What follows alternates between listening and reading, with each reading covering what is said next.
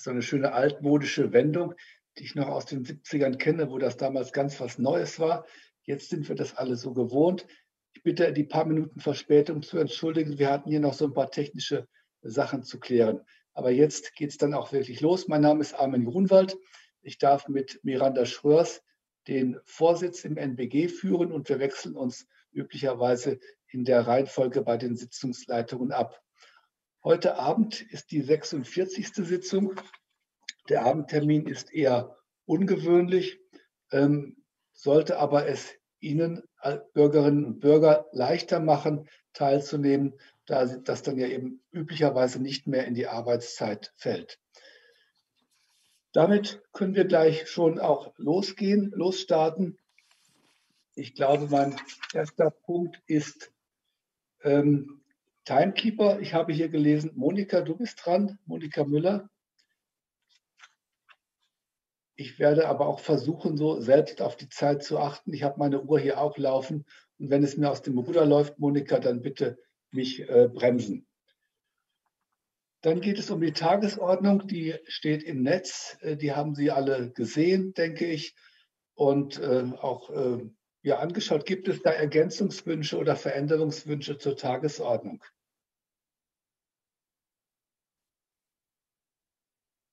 Das ist nicht der Fall. Dann gilt die jetzt so wie vereinbart. Falls Ihnen unterwegs noch etwas einfällt, dann ist der Punkt Verschiedenes ja auch dafür da.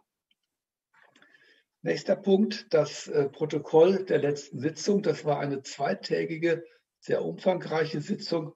Entsprechend umfangreich und gehaltvoll ist auch das Protokoll geworden.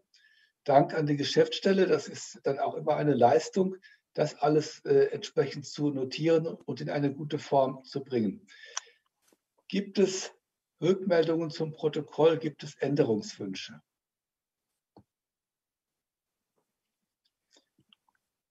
Das ist auch nicht der Fall. Dann noch einen Dank an die Geschäftsstelle. Das ist ja ein Lob. Ja, dann ist es Ihnen auch wirklich besonders gut gelungen, das alles entsprechend korrekt aufzuschreiben. Dann können wir schon zum ähm, ersten inhaltlichen Punkt für heute Abend kommen. Möglichkeit der Klärung von Fragen aus der Fachkonferenz Teilgebiete durch die Sachverständigengruppe, die das NBG eingesetzt hat nach äh, Maßgabe des Geologie-Datengesetzes. Ähm, Hintergrund ist hier, dass ähm, die vielen Bürgerinnen und Bürger, die Fragen zu den Teilgebieten haben, in der Regel nicht über geologische Kompetenz verfügen und möglicherweise auch niemanden haben, an den sie sich wenden können.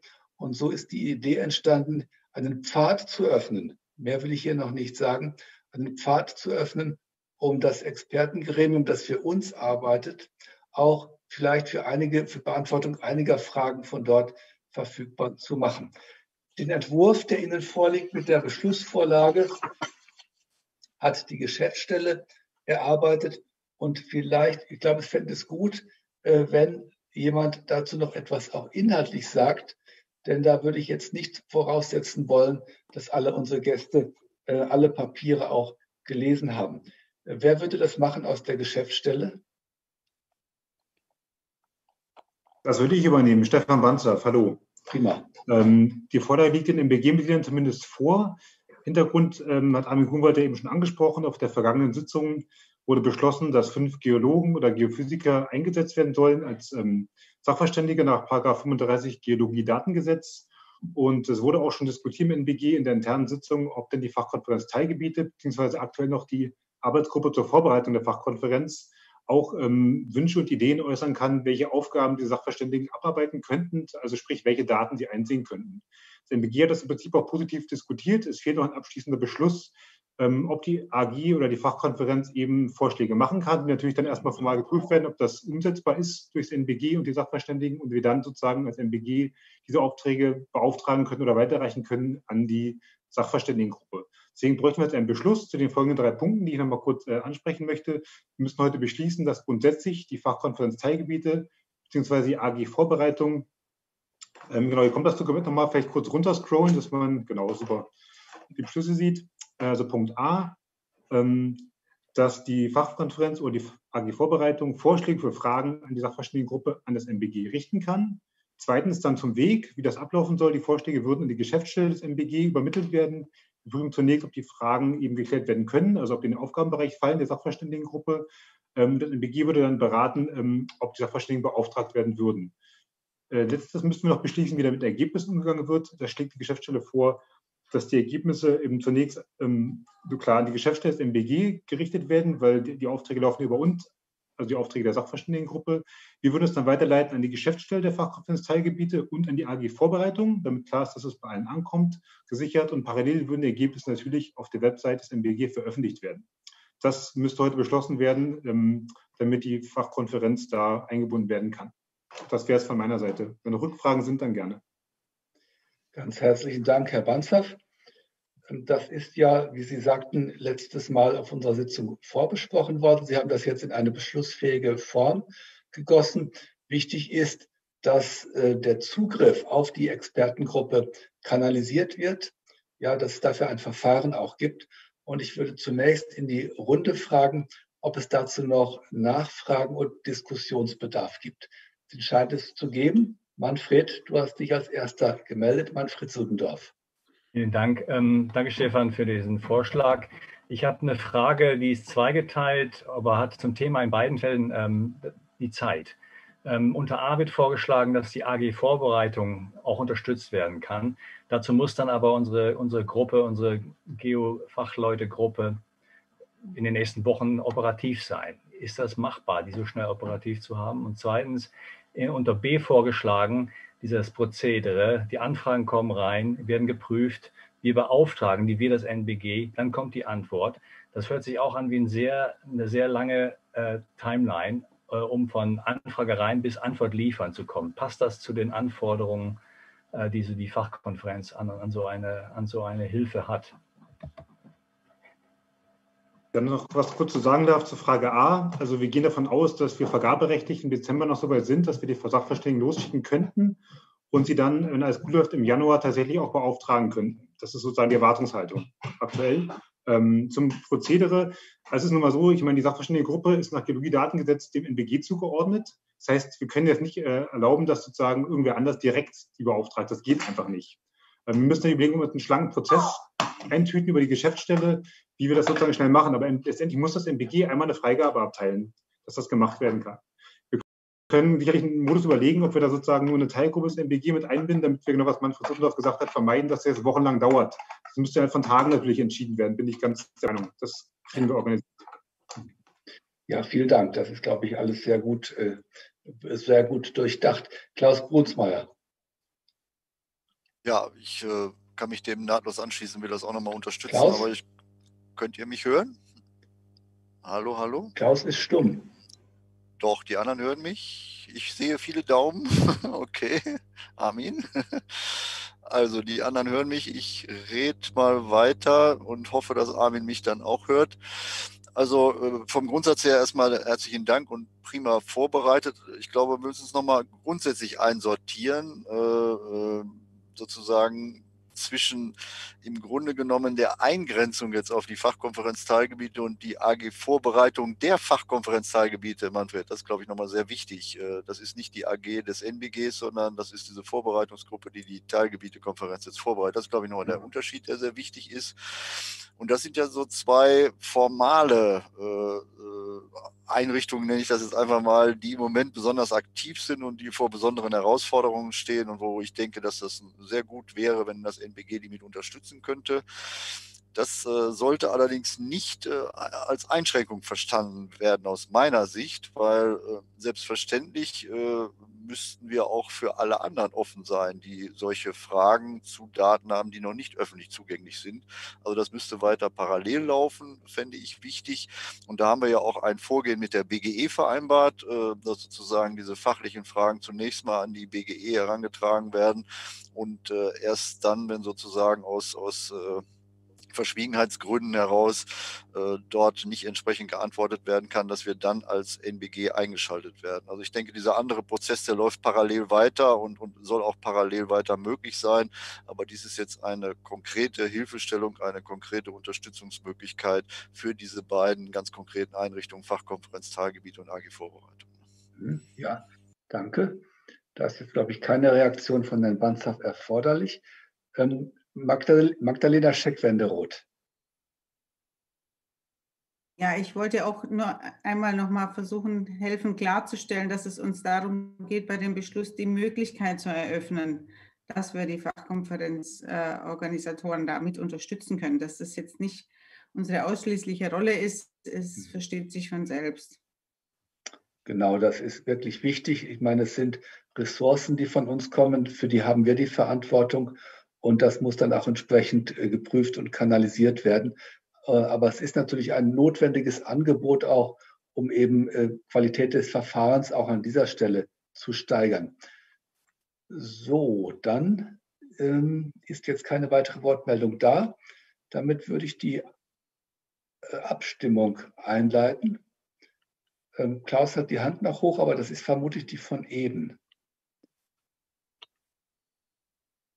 Okay, äh, ja, das heißt, die Abstimmung einleiten. Es gibt die Beschlussvorlage mit dem Text, den Sie ja gesehen haben, den Herr Bansdorf gerade auch noch vorgestellt hat. Ähm, ich frage einmal in die Runde, ähm, wenn jemand etwas dagegen hat, bitte melden. Und zwar so, dass es eben auch proto protokollierbar ist.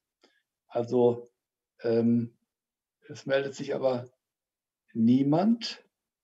Also ich sehe niemanden, der hier Widerspruch anmeldet. Äh, gibt es jemanden, der sich enthält? Das sehe ich auch nicht. Dann haben wir hier einen Konsensbeschluss. Einstimmig Konsensbeschluss. Herzlichen Dank. Damit kann die Sache dann in der Geschäftsstelle auch so in die Umsetzung gehen. Und wir können zum nächsten Tagesordnungspunkt kommen. Jetzt geht es um Vorausschau und Planung für das nächste Jahr, vielleicht sogar in Teilen darüber hinaus. Es geht um Gutachten und Studien, die wir für das nächste Jahr in Angriff nehmen wollen, einplanen wollen und dann natürlich auch den Beauftragungsprozess einleiten wollen.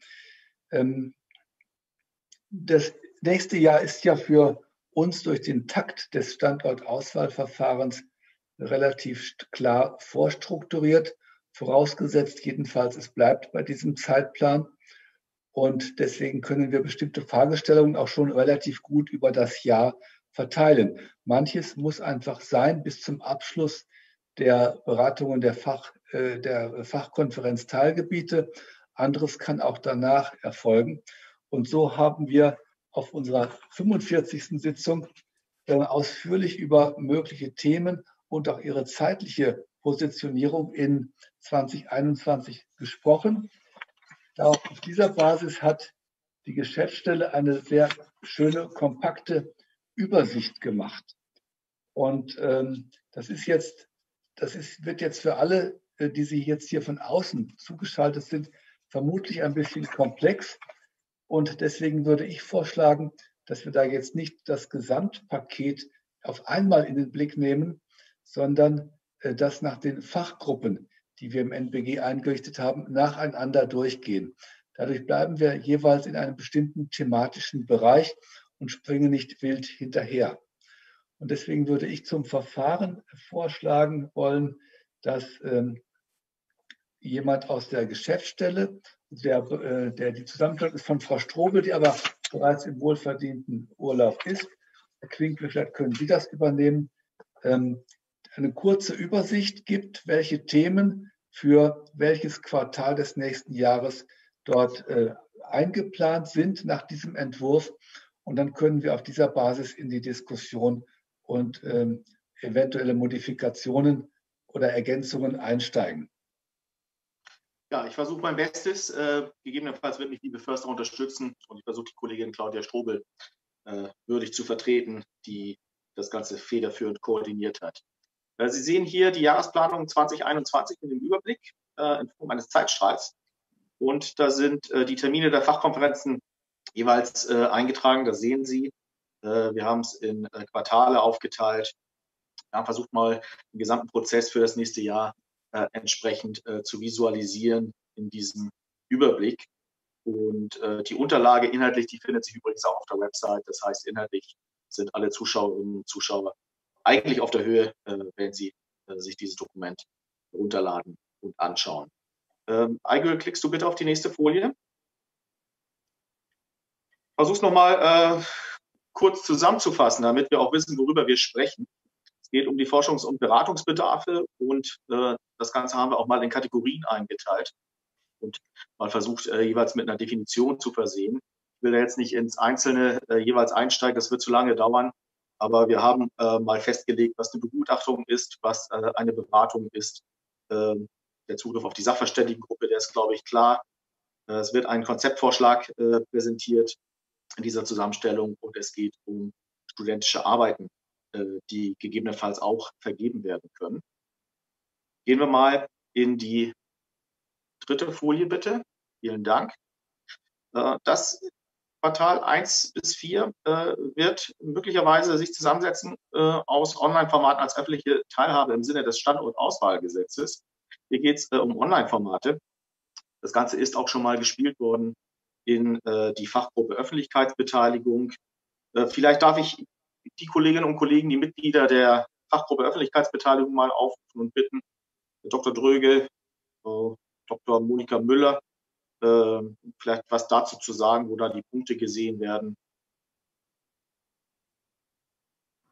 Ähm, ich steige mal ein, Herr Dröge. Ist das in Ordnung? Ja, ja, ist okay. Okay, also zum einen ist es ein bisschen ungünstig. Wir haben morgen nochmal ein mhm. Zoom-Meeting der Fachgruppe und zum anderen hat sich heute ähm, für uns auch überraschend ergeben, dass das BASE sich schon mit dieser Frage beschäftigt, auch versucht, ein Forschungs- Vorhaben zu eruieren. Also ähm, ähm, ist, sind Online-Formate in der Lage, Partizipation in Gänze oder alle Anforderungen in Gänze zu erfüllen. Und die Fachgruppe hat sich durchaus darüber unterhalten, ähm, dass man feststellen muss, welche Kriterien gibt es denn für gute Online-Beratung? Welche Kriterien müssen erfüllt sein, damit man das als ähm, gut oder befriedigend ähm, ähm beschließen kann? Also das wäre auf jeden Fall ein guter Punkt, da hinzuschauen. Jetzt ist die Frage, man muss sich anschauen, was macht das Base? Was hat es dazu getan? Es gab ein Expertengespräch des Base dazu, ist im Newsletter jetzt zu entnehmen. Ähm, und was macht die Fachgruppe oder welchen Bedarf stellt die Fachgruppe darüber hinaus fest? Also das muss man sich angucken. Soweit von mir. Vielen Dank. Ist okay, von mir aus keine Ergänzung. Gut, äh, dann würden wir vielleicht gleich weitermachen. Ähm, dann wäre das zumindest schon mal äh, erläutert worden. Mit Q4, äh, Quartal Nummer 4, Beratung methodische Anforderungen von Formaten für die Durchführung nach Standort, äh, nach Paragraph 7 Standortauswahlgesetz und ein Konzeptvorschlag, der auch denkbar wäre für eine Langzeitstudie Einstellung zur Endlagersuche und Wirkung von Partizipation. Ähm, würden wir das dann äh, mit zusammenfassen oder das, was äh, du, Monika Müller, äh, gerade gesagt hast? Oder wie wollen wir damit verfahren? Wollen wir da die Sitzung morgen noch abwarten? Ähm, ich wäre sehr dafür, dass wir, wenn, nachdem wir uns morgen noch mal kurz geschlossen haben, in der Fachgruppe das noch mal präzisieren können. Also ich denke, dass da Bedarf ist und dass man diese beiden Punkte eventuell so zusammenfassen kann. Mhm. Prima. Okay, gut. Ähm, das war jetzt Fachgruppe 1. Gibt es dazu aus dem gesamten NBG, also über die FG 1 hinaus, Nachfragen und Anregungen? Moment, ich muss mal wieder meine Liste aufschlagen, sonst sehe ich nichts. Da habe ich sie. Wortmeldungen dazu aus, der, aus dem NBG. Da sehe ich keine, doch jetzt eine, zwei. Monika Müller und Manfred Sudendorf. Ja, ich möchte gerne ergänzen. Also wir haben eine, auch nach der letzten NBG-Sitzung, eine lange Liste zusammengetragen, was die Fachgruppe an Aufgaben für das kommende Jahr sieht. Also wir werden die morgige Sitzung dazu benutzen, das zu priorisieren und zu konkretisieren. Ähm, und es kann sein, dass über die jetzt in der Liste stehenden Punkte sich noch andere Bedarfe daraus ergeben. Das würden wir dann sehr gerne nachtragen. Also ich glaube, das ist ja äh, das zentrale Punkt, der muss generell gelten. Denn wir können und wollen und dürfen uns jetzt ja nicht sozusagen quasi zubetonieren für das nächste Jahr, sondern wir selbst müssen ja genauso selbst hinterfragen und lernend weiterarbeiten, wie das gesamte Verfahren sein soll. Und da, das, da, wird sich immer, da werden sich immer wieder Änderungen ergeben. Manchmal, wenn man halt beauftragt, muss für einen Moment das sozusagen eingefroren werden, sonst kann man keinen ordentlichen Auftrag erteilen. Aber wenn danach andere Dinge kommen, dann wird man eben auch wieder mit neuen ähm, Ansätzen, mit neuen Formaten dem nachgehen. Ähm, Manfred. Nur kurz zu der hier gezeichneten Folie. Ähm, die, äh, die zwei weiteren Veranstaltungen, die wir im September, glaube ich, bereits beschlossen haben, die, die fehlen mir hier auf dieser Darstellung. Wir hatten vor, nach jeder Fachkonferenz eine, eine Evaluierung der, der, der Konferenz zu machen. Das ist mal vielleicht nur aus grafischen Gründen hier zurückgelassen worden, hinter, äh, nicht, nicht aufgeführt worden. Ich möchte nur sicher sein, dass es nicht vergessen wurde, dass wir im Februar auch bereits eine Veranstaltung und im April dann auch nochmal eine Veranstaltung hierzu haben wollen. Ja, vielen Dank, das ist wichtig. Wobei das Wort Evaluierung, das kann natürlich auch missverstanden werden. Ich habe uns äh, so in Erinnerung, dass es darum gehen soll, aus einer jeweils gerade zu Ende gegangenen Fachkonferenz oder aus einem Termin, muss man ja sagen, aus einem Termin, aus einer Veranstaltung, das, was dort an Erkenntnissen auf unserer Seite da ist, zu nutzen, um für die nächste zu lernen. Das hat was mit Evaluierung zu tun, aber ist nicht längst nicht alles, was man unter Evaluierung verstehen könnte. Aber ein wichtiger Hinweis, das ist in der Tat Beschlusslage. Äh, Frau Förster? Ich wollte zu der auch gezeigten Folie noch ergänzen, dass die beiden Termine zu der Berechnungsgrundlage der Dosisabschätzung nur erstmal ungefähr eingeordnet wurden in diesen Zeitstrahl. Also da gibt es noch keine festen Termine, nur dass äh, da vielleicht keine Missverständnisse entstehen, auch in der Öffentlichkeit. Genau. Ja, okay. Danke. Und Herr Grieshammer. Ich wollte jetzt nur zum Abstimmungsprozedere heute Abend fragen. Äh, gehen wir jetzt die Punkte nacheinander durch und sagen dann nach jedem Punkt vorläufig Ja und machen dann am Schluss eine Endabstimmung oder gehen wir alle durch und äh, machen dann eine Endabstimmung, wo wir nochmal zurückgehen? Das ist mir im Moment nicht klar. Ja, mir auch nicht. Das heißt, ich als Moderator muss ich aber jetzt was dazu sagen. Und ich stelle mir das jetzt so vor, wir gehen durch alle Punkte in den Tabellen durch, alle FGs und auch was darüber hinausgeht, gehen wir jetzt so durch, wie wir es im Moment auch tun. Manche Dinge sind eh schon Konsens, bei anderen gibt es noch äh, Fragen. Das wird notiert und der, der Hinweis auf die, das äh, Meeting morgen wurde auch schon gemacht sodass wir dann, denke ich, zum Schluss äh, eine Gesamtabstimmung haben, die alle das, all das, was wir hier besprochen haben, natürlich beinhaltet. Ja, da haben wir dafür noch keine Formulierung, aber die inhaltlichen, den inhaltlichen Beschluss. Ähm, Miranda, du willst zum Verfahren etwas sagen? Ja, ich glaube, es ist wichtig zu erinnern, ähm, der Hintergrund dieser Dokuments. Ähm, Claudia Strobel hat versucht, aus der ähm, Arbeitsgruppen Themen aufzunehmen, die sie ähm, gehört hat und versucht, das ein bisschen zu ordnen. Ich glaube, keine von den Themen sind so weit ausgedacht hier, dass wir hierzu eigentlich Beschlüssen machen können oder sollen. Ich glaube, was Claudia Strobel braucht, um Beschlüsse zu formulieren, ist ein Go von uns zu sagen, dieses sind Themenbereiche, die für uns wichtig sind oder dass die Arbeitsgruppen selbst dann äh, Beschlussvorschläge äh, ähm, machen, dass wir in eine weitere Sitzung die dann auch abstimmen können. Ähm, ich glaube, von Sicht der Geschäftsstelle ist es auch hilfreich, wenn die ein bisschen eine langfristige Planung schaffen können, sodass die wissen, wie sie ihre Zeit ähm, verwenden sollen. Und ähm, ohne dass wir das kommunizieren, ist es für die Geschäftsstelle ein bisschen ein Guesswork, worauf die zunächst arbeiten sollen.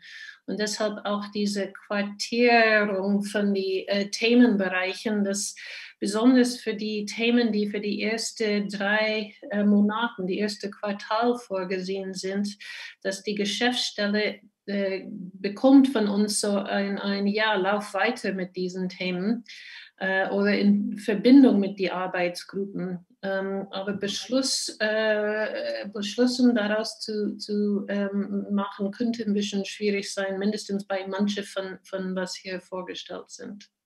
Ja, danke. Das gibt mir die Möglichkeit zu präzisieren. Das ist auch notwendig. Mit dem Beschluss, wie ich das Wort gemeint hatte, meinte ich genau das Go Ahead, was du jetzt genannt hast ich verstehe dieses Tableau, was auf dieser Seite entsteht, Themen, ähm, Treffen und eben auch Quartale, dass dieses Tableau ist eine Art Vorplanung für uns als NBG und natürlich auch wichtig für die Ressourcenplanung in der Geschäftsstelle. Das ist aber kein Beschluss, dass jetzt im zweiten Quartal unbedingt ein Gutachten mit dem Namen so und so dann auch vergeben werden muss, sondern es ist das Go-Ahead für die Fachgruppen in dieser Richtung weiterzudenken, das Go-Ahead auch für die Geschäftsstelle, sich das nächste Jahr einmal so vorzustellen. Änderungen gibt es dann sowieso. Ja, wir hatten ja gerade auch schon das Thema lernfähig zu sein, selbst hinterfragend. Natürlich wird dieses Tableau im Laufe des Jahres leben. Und das meinte ich eben, als ich sagte, wir wollen das Jahr nicht zu betonieren, so nach dem Motto Quartal 1, Quartal 2, Quartal 3, dann haben wir ABC, sondern es ist ein Orientierungsrahmen für das nächste Jahr, sodass wir einen Plan einfach haben. Und äh, Sie wissen ja alle, wie das mit Plänen ist. Ähm, ich habe meine Habilitationsschrift über Planungstheorie geschrieben. Und wenn ich aus heutiger Sicht das Ergebnis zusammenfassen darf, dann würde ich immer sagen, man muss unbedingt planen, weil man ohne Planung gar nicht weiß, wovon man abweicht. Ja, und, und so, glaube ich, im Sinne eines lebenden Dokuments ist das einfach wichtig. Und da würde ich mir dann zum Schluss unserer, unserer Aussprache auch ein Go-Ahead für dieses lebende Dokument dann wünschen. Oder ich werde es jedenfalls äh, zur Abstimmung stellen als ein Go-Ahead für den Orientierungsrahmen 2021. Und dann wird alles weitere natürlich sowieso präzisiert und dann nochmal separat dann wirklich entschieden. Okay, keine weiteren Verfahrensfragen? Gut, dann können wir, glaube ich, äh, wenn ich das richtig sehe, die Orientierung, den Orientierungsrahmen für die Fachgruppe 1 hier abschließen. Die Anregungen sind aufgenommen, der Verweis auf das Treffen morgen ist aufgenommen. Die Themen sind okay. Gut, dann kommen wir zur Fachgruppe 2. Herr Quinkle, Sie haben da so schön diese Folien ich, äh, ich würde an dieser Stelle gerne weitergeben an meinen Kollegen Stefan Banzer. Äh, ja. Vielleicht kannst du kurz auf die Punkte eingehen, Stefan.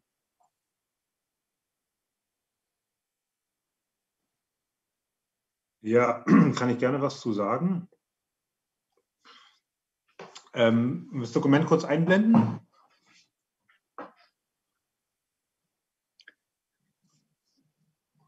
Super, vielen Dank, Eigül. Kannst du dann direkt zu unserer Folie springen? Folie 5 ist das, glaube ich. Korrekt.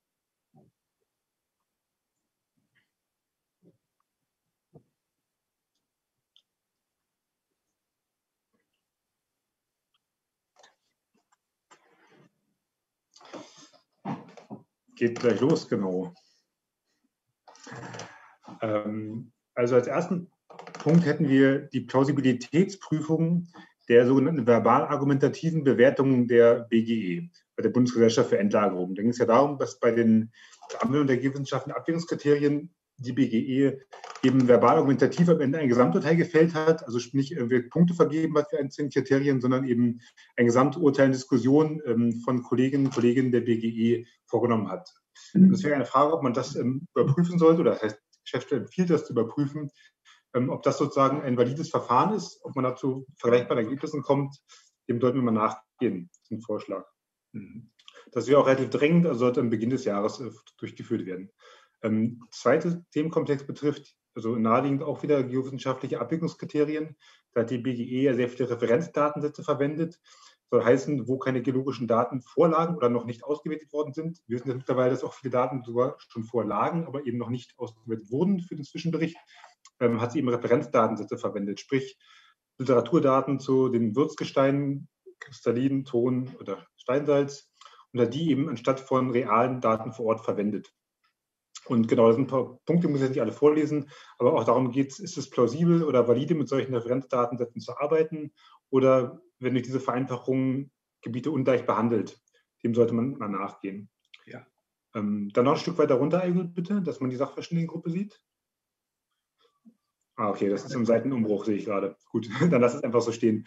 Ähm, Dokument liegt ja auch vor als Beratungsunterlage. Da geht es einfach darum, dass ähm, die Sachverständigengruppe nach Geologiedatengesetz, die ja dann hoffentlich im Januar arbeitsfähig ist, ähm, sich einmal anschauen sollte, was nun mit dem Ausschluss von Gebieten mit bergbaulicher Tätigkeit, sprich Teilgebiete, wieder vorgegangen wurde. Hintergrund ist der, dass ja ähm, nach Geologiedatengesetz bisher auch strittig war, ob diese Daten überhaupt veröffentlicht werden dürfen. Also Bergwerksdaten, weil der Firmen gegen gesträubt hatten. Da gibt es ähm, aktuell ein bisschen Bewegung drin. Da kann die Kollegin Wiebe Förster vielleicht noch zwei Wörter zu sagen im Anschluss. Ähm, aber nichtsdestotrotz sollte man das vielleicht noch überprüfen. Das ist ein Vorschlag. Ich glaube, das war es aus der Fachgruppe. Oder haben wir noch was auf der nächsten Seite? Bin mir gerade nicht mehr ganz sicher. Ich glaube, auf der nächsten Seite kommt wieder der, der Zeitstrahl. Genau, dann sind wir durch. Ja, prima. In Kürze. Ja, vielen Dank, Herr Panzow. Dann jetzt die zunächst vielleicht Mitglieder aus der Fachgruppe zur Erläuterung, Ergänzung. Moment, jetzt muss ich wieder meine Teilnehmerliste anstellen.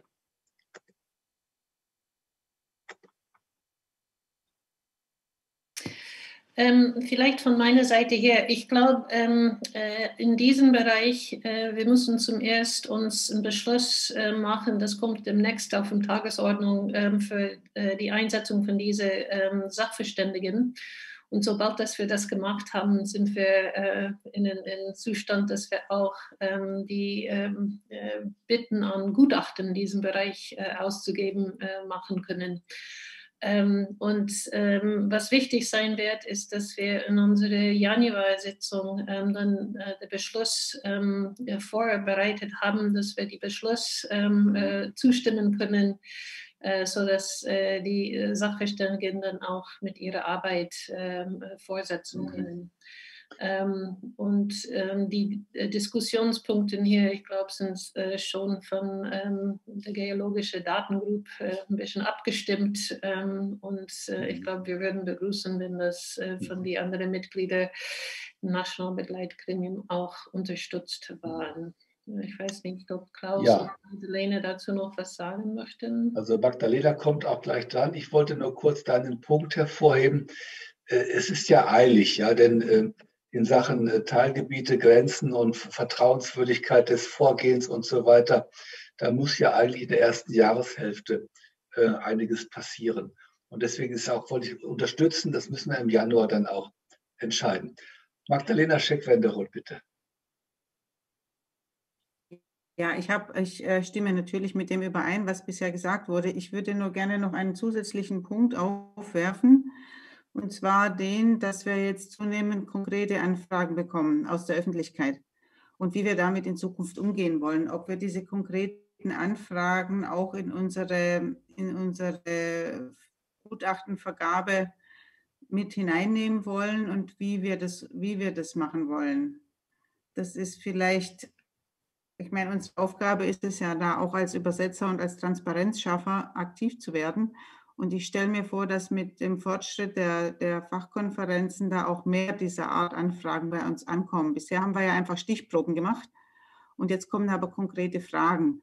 Und ob wir hier unsere Strategie vielleicht überdenken sollten und da uns äh, dieses Konzept vielleicht ein Stück weit so erweitern, dass wir die Öffentlichkeit mitnehmen.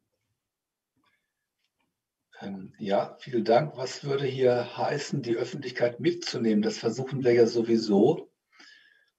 Ähm, wie würde sich das äußern? Ja, man, man könnte sich ja die konkreten Anfragen vielleicht in Einzelsitzungen äh, besprechen mit, mit der Sachverständigengruppe, könnte ich mir vorstellen, mhm, dass die okay. Fachgruppe sich mit den Sachverständigen vielleicht zusammenfindet und dann screent, was ist bei uns angekommen, wie gehen wir damit um und dann einen Vorschlag fürs Gremium vorbereitet, zum Beispiel. Ja, ähm, es sind einige Wortmeldungen da. Wir müssten dann nach den Wortmeldungen kurz überlegen, ob das jetzt für heute wichtig ist oder ob wir das als Thema für die Januarsitzung auch mitnehmen, weil das bedarf ja doch auch einigen gemeinsamen Nachdenkens, denke ich, ähm, einen guten Weg zu finden, der uns auch nicht überlastet. Ähm, Frau Schafmeister, bitte. Ja, ich stimme dem völlig zu. Äh, zumal die konkreten Anfragen ja häufig sehr äh, lokal sind. Ja. Jeder fragt natürlich nach dem Fall vor seiner eigenen Hütte. Und da werden wir wahrscheinlich irgendwie sammeln und bündeln müssen und müssen wir irgendwie ein Konzept haben, wie man das machen kann, weil wir ja unmöglich jetzt sozusagen jedes Teilgebiet dann einzeln quasi begutachten lassen können. Also da müssen wir uns was überlegen, aber wir haben ja jetzt demnächst auch noch eine Sitzung, da können wir vielleicht schon mal darüber anfangen. Genau, da kommen dann die vielen Fragen, warum dann mein Dorf im Teilgebiet liegt und das Nachbardorf, das man sowieso nicht leiden kann, draußen. Ja, das kann man sich lebhaft vorstellen. Ähm, Klaus Brunsmeier, bitte. Ja, ja, so ist das mit den Dörfern. Ähm, also ich würde es gern aufteilen in proaktiv und reaktiv. Ne? Also dies wäre ja sozusagen das Proaktive, was wir äh, als Gremium äh, uns im Moment äh, auf die Fahnen schreiben und sagen, das sind aus unserer Sicht wichtige Fragen, denen jetzt nachgegangen werden sollte und wo wir dann daran weiter arbeiten. Und das andere ist halt das Reaktive, ne? wenn wir jetzt sozusagen konkrete Anfragen von Dritten bekommen, so wie heute ne, ja auch äh, reingekommen ist. Ich denke, da gilt aber zunächst mal auch, auch die alte Vorgehensweise. Also wenn jemand Fragen dazu hat, konkrete äh, Anregungen, dann ist erstmal die Weiterleitung an die BGE äh, mhm. und die Bitte der, an die BGE, diese Antworten auch zu liefern. Und erst wenn sozusagen von der BGE zurückkommt aus, äh, aus Geheimhaltungsgründen, können wir das nicht, dann ist das der eine Weg. Oder wenn zurückkommt, äh, Herr Löwe hört jetzt mal weg, die BGE ist doof, die haben mir das nicht richtig geantwortet. Und dann müssen wir uns halt nochmal damit auseinandersetzen. Also das sind, denke ich, die beiden äh, Bereiche, proaktiv und reaktiv. Und äh, dies sehe ich jetzt eher in der heutigen Vorlage als das Proaktive und, und damit auch sozusagen die Richtung, in der die Geschäftsstelle dann arbeiten kann und soll. Ja, danke. Danke, Klaus. Ich sehe auch einige Köpfe nicken. Ähm, das war, glaube ich, eine schöne Klärung. Lukas Fachtan, bitte. Wir sollten, denke ich, auch für mehr Verständlichkeit in diesen Zeiten werben. Also gerade jetzt, wo es doch, so, äh, doch ziemlich ähm, Richtung Fachkonferenz hingeht, das Verfahren, aber Corona doch ähm, noch mehr Herausforderungen mit sich bringt, denke ich, wäre es ganz sinnvoll, wenn wir als MBG auch Bürgerinnen und Bürgern die Möglichkeit ähm, zu fachspezifischen Fragen und Antworten geben, damit sie einfach zum Beispiel mal so eine halbe Stunde oder Stunde auch haben, um mit uns bürgernah am Abend zum Beispiel in Austausch kommen zu können und dann auch die Fragen an uns richten, die vielleicht in unserem Bereich liegen. Ich glaube, das wäre auch ein Format, was ähm, schon ähm, was schon auch die BGE jetzt macht, ähm, was sich auch das ähm, Base mit überlegen könnte oder schon mitmacht, was auch wir mitmachen sollten oder einführen sollten, damit wir einfach den Austausch herstellen und auch die Bürgernähe in diesen sehr digitalen Zeiten auch aufrechterhalten können. Danke, Lukas. Wir hatten ja auch schon eine Bürgersprechstunde am Ende der letzten Sitzung. Das war ein kleiner Schritt. Die wurde nicht so genutzt, aber das kann sich ja auch noch stark ändern. So, dann sehe ich jetzt keine Wortmeldung mehr dann schließe ich daraus, dass der Diskussionsbedarf zu, dem, äh, zu der Orientierung, ja, um es mal wieder das Wort aufzugreifen, der Fachgruppe 2 der anstehenden Arbeiten und auch des externen Unterstützungsbedarfs für das nächste Jahr nach jetzigem Stand des Wissens und der Einschätzungen damit abgedeckt ist. Und damit können wir zur Fachgruppe 3 fortschreiten. Ja, da würde ich gern äh, kurz einleiten. Die Fachgruppe 3, Strahlenschutz und Sicherheit, äh, die wird koordiniert in der Geschäftsstelle durch die Kollegin Claudia Strobel, die ja heute nicht dabei ist, äh, aus gutem Grund. Und deshalb wäre jetzt äh, die Frage, ich richte die mal an die Mitglieder der Fachgruppe 3, ähm, ob sich jemand bereit erklärt, diese Punkte kurz vorzustellen, die ja auch innerhalb der Fachgruppe abgestimmt worden waren, vorabgestimmt worden waren. Ja, wer möchte? Gut, dann fange ich mal an. Prima, Herr Rühm. Hören Sie mich? Ja. Ah, sehr gut. Ähm, wir hatten uns auf der letzten Sitzung Gedanken gemacht, worüber, womit wir uns beschäftigen wollen oder sollen nächstes Jahr. Und ein Thema, was sofort aufgeschlagen ist, ist die Berechnungsgrundlage für die Dosisabschätzung bei der Endlagerung von hochradioaktiven Abfällen. Da gibt es ja mittlerweile einen Entwurf, der, ähm, ich glaube, im Juli, im Juli veröffentlicht wurde der ähm, von, von BASE und von, vom BFS ähm, ja, entworfen wurde, geschrieben wurde. Ich glaube, BASE ist für das Geosphärenmodell verantwortlich und BFS für das Biosphärenmodell. Und ähm, das ist ein Dokument, das ist zum, in Teilen zumindest unheimlich detailliert. Und wir haben uns gedacht, es wäre ganz gut, wir würden verstehen, was da alles gemacht wird, weil das ja doch eine zentrale, ein Zent oder nicht ein zentrales, aber eins der Kriterien ist, nach denen die verschiedenen Standorte dann oder Möglichkeiten beurteilt werden, die Dosis, die in einer Million Jahre dann für potenzielle Bevölkerung dann zusätzlich noch auftritt. Ähm, ich sollte vielleicht auch dazu sagen, wir werden Anfang Januar, ich glaube vor unserer NBG-Sitzung, wird die Fachgruppe wieder ein Treffen haben und da werden wir uns dann sicher schon mehr mit, im Detail dann mit solchen Dingen auseinandersetzen. Ein anderes Thema sehe ich gerade, die Endlagerungsbehälter.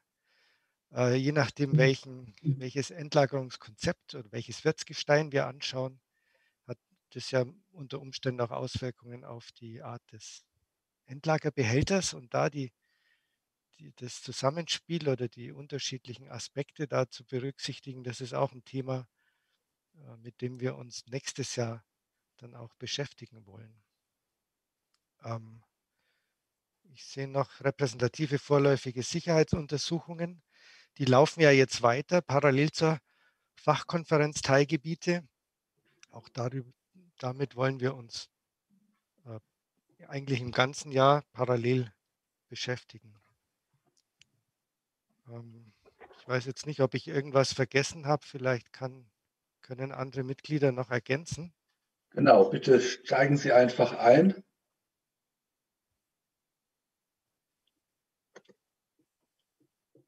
Da scheint kein Ergänzungsbedarf zu bestehen. Herr Röhm, vielen Dank. Aufrufen, Entschuldigung, äh, wenn sich jetzt keiner zu Wort meldet. Äh, es geht nochmal ganz unten auf der Folie, sind ja die studentischen Arbeiten äh, zum Wissenserhalt und Nachwuchsförderung ah ja. aufgeführt äh, insbesondere zur Frage, welche Auswirkungen hat der Ausstieg aus der Kernenergie auf den Wissenserhalt im Bereich Kerntechnik äh, und Entsorgung in Deutschland. Also inhaltlich geht es da äh, um die Frage, wie es um die Nachwuchsförderung äh, steht und Gewinnung äh, von Nachwuchs im Bereich Endlagerforschung, Kerntechnik äh, und weitere Themen. Das wäre, glaube ich, etwas, was die Fachgruppe auch schon mal diskutiert hat und was vielleicht auch dann Anfang Januar nochmal besprochen werden kann. Vielleicht darf ich da noch ergänzen, dass das, das Thema ähm, Kompetenz in Deutschland durch den Ausstieg aus der Kernenergie natürlich einen Einfluss hat auf bestimmte äh, Wissenschaftsbereiche. Und das sind, ist gerade ein Thema, das eine ganze Reihe von Akteuren sehr beschäftigt. Ähm, also das, ich denke, das macht auch Sinn, dass wir uns als NBG da mal damit auseinandersetzen. Mhm. Ähm, vielleicht kann ich hierzu auch ähm, äh, kurz eine Wortmeldung machen. Ähm, als äh, äh, Professorin ähm, ist es mir auch ähm, aufgefallen, wie wichtig es ist, die Nachwuchs in diesen Bereichen zu äh, stärken. Und ähm, es wäre hilfreich, wenn die Geschäftsstelle herausfinden könnte, ob es überhaupt möglich ist für uns, ähm, äh, finanzielle Hilfe auszugeben im Bereich studentische Hilfskräften ähm, oder Praxisprojekten oder ob das nur auf freiwillige Basis gemacht werden kann. Es wäre hilfreich zu wissen, was die Rahmenbedingungen für sowas sein würde. Und dann auch in Bereitschaft aus ähm, Geschäftsstelle zuzuhören, ähm, würde die ähm, Personen in die Geschäftsstelle sich ähm, äh, bereitstellen, um auch solche Praxisprojekte ähm, zu unterstützen, ähm, im Sinne, dass man hat ein ähm, Praxisstudent, ähm, Studentin, die äh, zugeordnet wird, zum Beispiel bei Stefan Banzhaf oder bei äh, ähm, Claudia Strobel und äh, unterstützt bei die Durchführung von äh, mancher Recherche um dass das für den dann auch ein Lern Lernungsprozess werden mhm. kann. Ähm, ähm, aber wir mussten dann äh, tatsächlich sehen, ähm, was für Rahmenbedingungen das mhm. ähm, äh, bedeuten würde. Vielleicht kann der Geschäftsstelle ein bisschen dazu ähm, Recherchen und einen Vorschlag machen, so wie sowas aussehen könnte. Ja, herzlichen Dank. Lukas Fachtan. Ich habe das ja das letzte Mal auch schon unterstützt, möchte das jetzt nachdrücklich auch noch einmal tun. Äh, würde mir auch wünschen, so als kleine Randbemerkung, dass wenn ähm, die finanziellen Mittel dafür zur Verfügung stünden, auch ähm, den Studierenden es ermöglicht wird, dass sie sich selbst frei im Feld bewegen können und sagen können, ähm, dass sie mal vielleicht in die eine Richtung mehr schauen wollen, dann vielleicht mal in die andere Fachbereichsrichtung ähm, und da auch ein bisschen die Flexibilität erhöhen. Mhm. Dass man nicht nur eine Ansprechperson hat, sondern auch als Student mitbestimmen kann, in welche Fachbereiche man zu welcher Zeit wie intensiv reinschauen kann. Gut, danke Lukas. Im Moment gibt es keine weiteren Wortmeldungen zur innerlichen Planung für die Fachgruppe 3. Nein, es kommt auch keine mehr dann würde ich jetzt einmal daraus schließen, dass der Diskussionsbedarf soweit abgedeckt ist. Und wir kommen zur Fachgruppe 4. Ich vermute, dass Hans Hagedorn ähm, dazu etwas sagen wird. Genau. Ähm, also die Fachgruppe 4 beschäftigt sich ja mit der Frage, wie die verschiedenen Institutionen des Verfahrens miteinander zusammenarbeiten und wo es da Reibereien gibt. Und ähm, wie alles in dem Papier ist auch das, was jetzt hier steht, natürlich noch in einem sehr frühen Ideenstadium. Und äh, auch zeitlich ist es ja eher zum Ende nächsten Jahres äh, eingeordnet. Und äh, was mich halt interessieren würde, damit ich da jetzt in die richtige Richtung weiterdenken kann, mal so ein, so ein erstes Feedback, in, in welche was so eine Tendenz eigentlich ist. Also es gibt ja verschiedene Optionen, wo man äh, hinarbeiten könnte. Das eine ist mehr so, ein, äh, so eine Analyse, wo man aus allgemein zugänglichen Quellen arbeitet und einfach eine Gesamtschau macht, aber eben nicht jetzt detailreich in die einzelnen Institutionen reingeht. Die andere Variante wäre, dass man eben, wie hier vorgeschlagen, mit so richtig vertrauensgeschützten Interviews äh, reingeht. Das ist dann aufwendiger, aber natürlich irgendwie auch sehr viel interessanter und man würde äh, tiefergehende Ergebnisse kriegen.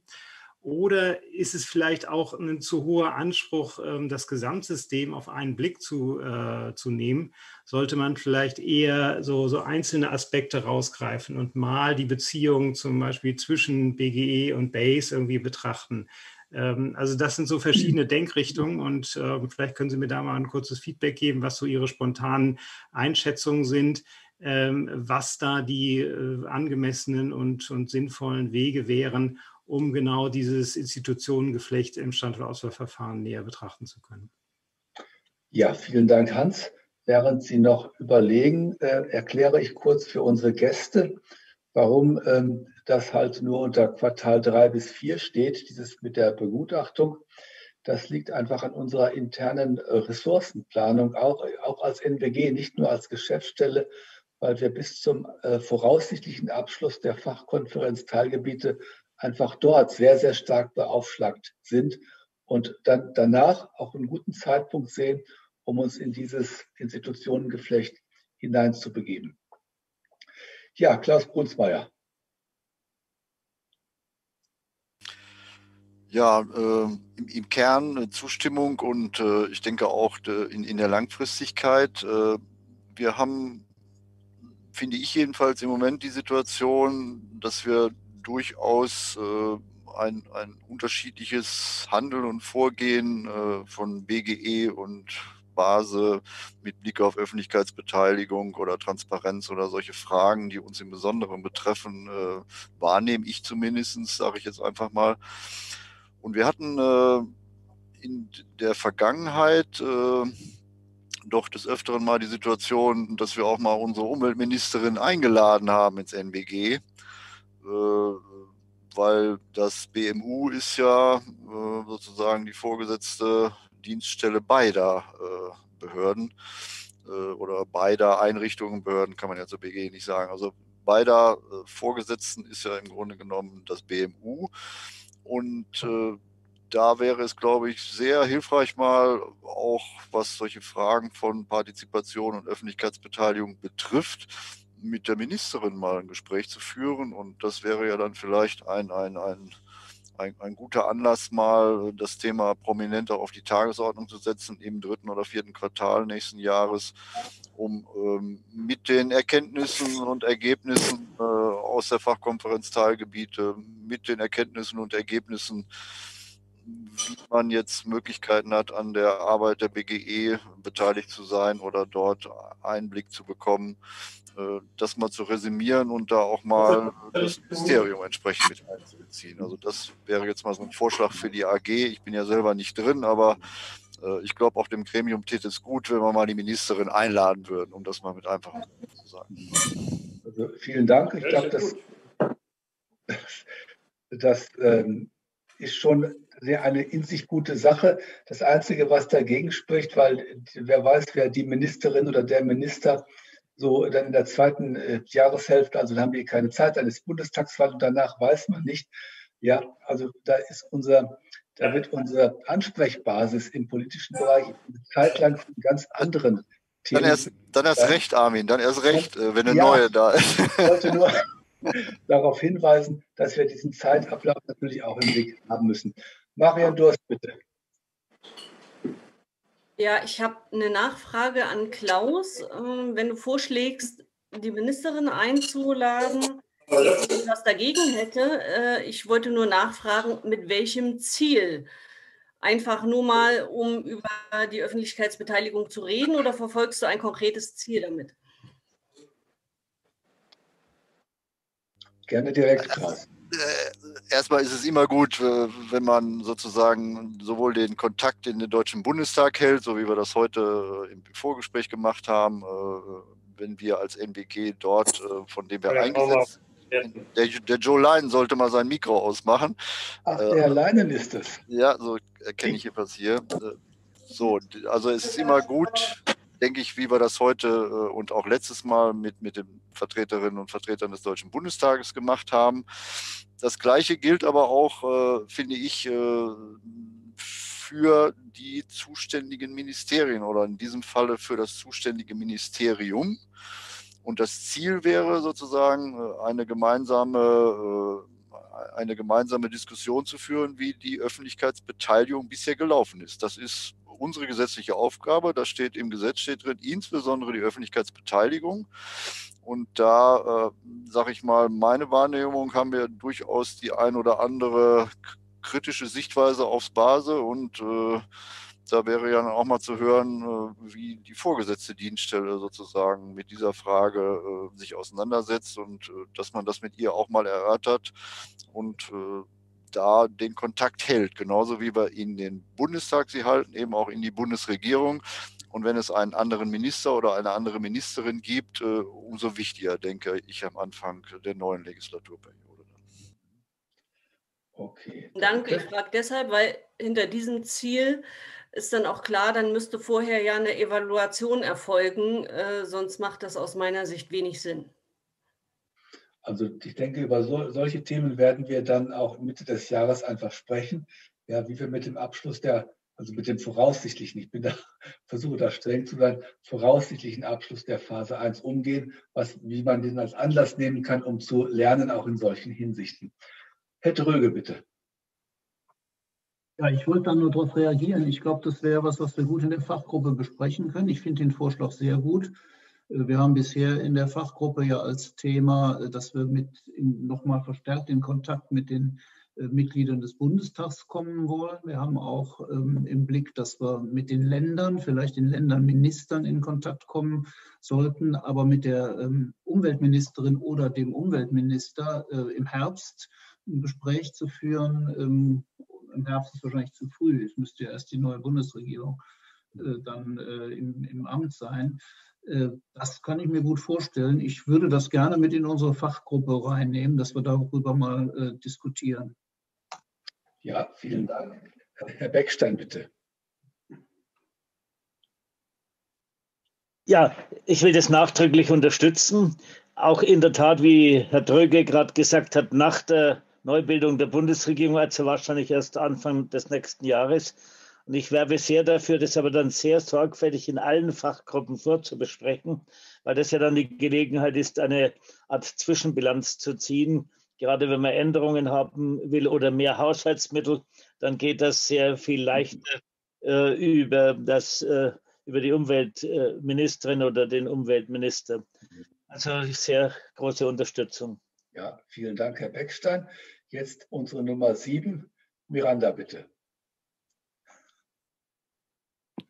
Ja, ähm, ich wollte nur in die Diskussion bringen, was wir auch in die interne Sitzung diskutiert haben, und das ist der internationale Peer Review. Äh, ja. Das könnte eigentlich sehr gut äh, damit zusammenpassen. Ähm, es spricht auch eigentlich für ein Timing des International Peer Review, dass man ein Ergebnis bekommt. Ähm, ähm, in, in, ungefähr der gleichen Zeit, dass eine, ähm, eine neue Regierung zusammen äh, sich stellt, sodass der International Peer Review auch mit der neuen Regierung mhm. diskutiert werden kann. Es ja. sagt aber auch nicht, dass äh, mit dem International Peer Review, dass man das nicht ähm, im Vorfeld auch mit den Treffen oder zwei organisieren könnte. Aber Endergebnis würde sehr gut passen mit dem Treffen ähm, mit die neue Minister, Ministerin, eine neue Regierung sein. Ja, ja, vielen Dank. Das waren jetzt nochmal sehr wichtige Anregungen. Ähm, Im Moment keine weitere Wortmeldung. Dann schließen wir die FG4 auch jetzt vorläufig mit diesem Stand ab. Und ich möchte mal kurz Zwischenresümee ziehen. Ähm, mein erster Eindruck ist, ich bin ganz äh, begeistert von diesem Portfolio von Themen und auch Unterstützungsbedarf, der sich dann teils daraus speist. Ähm, ich glaube, die Einrichtung der Fachgruppen hat sich, das sieht man daran sehr schön, absolut ausgezahlt, weil dadurch war eben Arbeit in einer Tiefe zielgenau möglich, ähm, wie man das sonst als Gesamtgremium eben nicht immer hinbekommt, um etwas vorsichtig zu sein. Ähm, der zweite Punkt ist, wir müssen bei der, der zweite Punkt ist, das sieht nach ganz viel Arbeit aus, ja. Das ist, glaube ich, uns allen klar. Das nächste Jahr wird ein äh, richtig arbeitsames und ähm, ja auch sehr wichtiges Jahr. Man kann ja sagen, bis zum 28. September war alles noch so ein bisschen im Vorspielmodus. Seitdem ist es ernst und im nächsten Jahr wird es eben noch ernster. Und der dritte Punkt bei der vielen Arbeit, die ähm, das mit sich bringt, müssen wir, wie Miranda eben auch äh, sagte, das Peer Review natürlich auch noch in das Gesamtkonzept reinbringen und auch in unsere ähm, eigene Arbeitsplanung einbauen. Also da haben wir auch noch, denke ich, Anfang des Jahres eine Menge an Detailplanungsarbeit. Ja, dann würde ich jetzt aber, bevor ich dann nochmal nach dem Gesamtbild frage, ähm, in die Runde fragen, gibt es Themen, die äh, aus Ihrer Sicht nötig wären, die aber nicht auf dem bisherigen Tableau draufstehen und die vielleicht sich auch keiner Fachgruppe zuordnen lassen. Das ist ja immer das äh, Risiko, dass man eingeht mit einer solchen Dezentralisierung, dass irgendwo zwischen den Fachgruppen mögliche Lücken entstehen. Miranda, bitte. Ja, ähm, wir müssen auch im Auge behalten, dass unser Tätigkeitsbericht, unser Jahresbericht geschrieben werden muss. Mhm.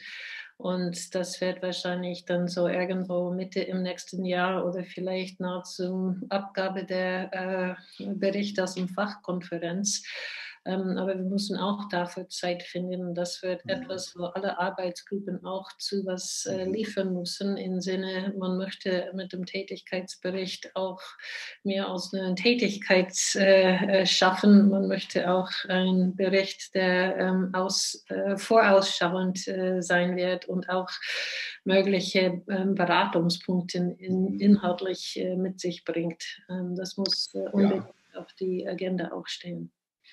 Ja, danke. Das ist sehr wichtig, zumal dieser Bericht ja auch ein wichtiges Signal in den politischen Bereichen äh, ist.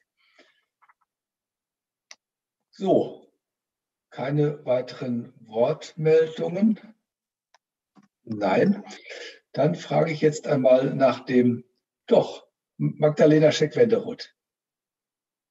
Ja, vielleicht ist es schon ein bisschen später und ich bin schon müde, aber was mir nicht so ganz klar ist, ist, wie wir da in das Ganze, in den ganzen Rahmen unterbringen, unsere Kommunikation mit der Fachkonferenz Teilgebiete. Also wer von uns und wie begeben wir uns in Kontakt und in Kommunikation mit, mit der Fachkonferenz? Also da kann vielleicht jemand aus der FG1, ja, Herr Dröge, bitte. Ja, das ist eines der Punkte, die wir morgen besprechen wollen. Äh, eines der wichtigen Punkte. Mhm. Ähm, wie begleiten wir die Vorbereitung der Fachkonferenz äh, Teilgebiete? Ähm, und da haben wir schon konkrete Punkte gesammelt, die wir morgen besprechen wollen. Super. Ja, äh, übermorgen, Entschuldigung, übermorgen ist das, glaube ich. Ja. Okay, ausgezeichnet, wunderbar. Und ähm, auf der Zeitleiste, die Herr Quinkwe gezeigt hat, ähm, sieht man ja, dass eben dort, der, da sieht man den Takt, in dem da ja dann gearbeitet werden soll, wenn das alles so bleibt. Und wo wir ja auch zwischendurch dieses Lernen aus der jeweils vergangenen uns auch schon mit äh, ins Programm geschrieben haben. Natürlich, Magdalena, das muss auch alles gemacht werden. Und ich denke, wir werden dann auf der Januar-Sitzung ähm, auch darüber sprechen, was die FG1 jetzt sozusagen sich selbst ausdenkt und vielleicht auch in, in, in Kooperation mit Externen schon weiterentwickelt hat, weil das ja dann uns als Gesamt-NBG betrifft. Die Januarsitzung ist ja die einzige vor dem Februartermin der Fachkonferenz. Jetzt hatte sich jemand gemeldet. Wer war es denn nochmal? Äh, Miranda, ja. Ja, tut mir leid, wieder eins sagen.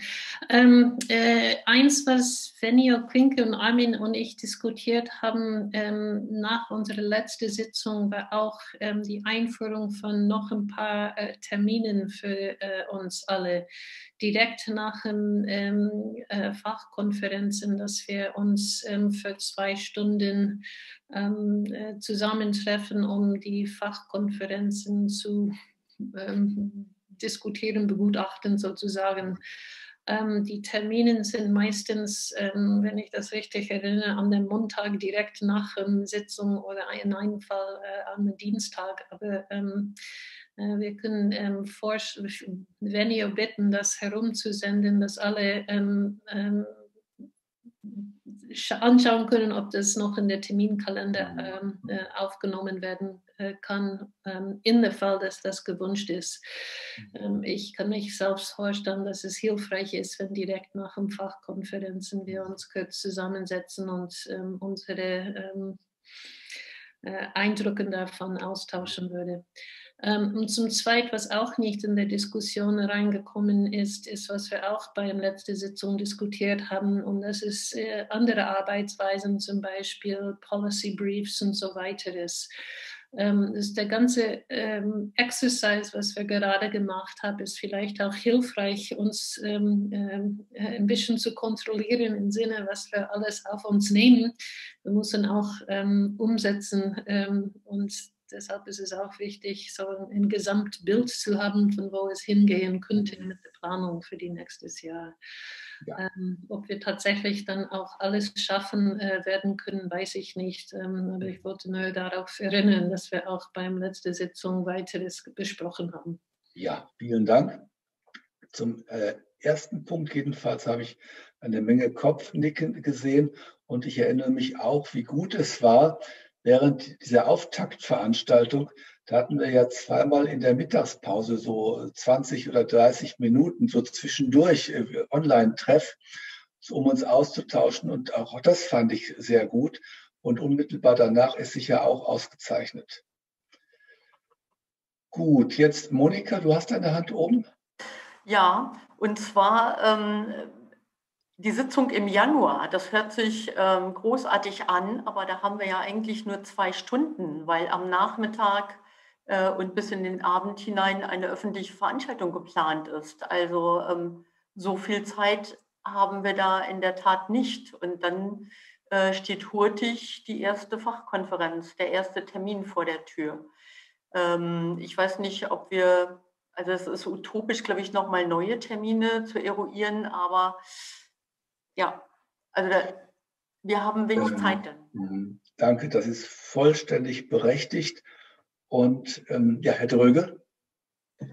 Ähm, ja, Sie sagten ja, ähm, Herr Grunwald, dass wir dann das Ergebnis unserer Fachgruppe im Januar äh, diskutieren könnten in der Gesamtgruppe. Ähm, wir haben ja auch vor, Protokoll zu schreiben jetzt von der Fachgruppe und das dann auch zu veröffentlichen, äh, um diese Kritik aufzunehmen, dass immer mehr in den Fachgruppen läuft, äh, ohne dass die Öffentlichkeit davon etwas erfährt. Dann würden wir uns sicherlich bemühen, auch das Protokoll relativ schnell äh, fertig zu machen, sodass wir das auch über das Protokoll schon, das, was wir besprochen haben, auch ins Gesamt-NBG rein speisen könnten.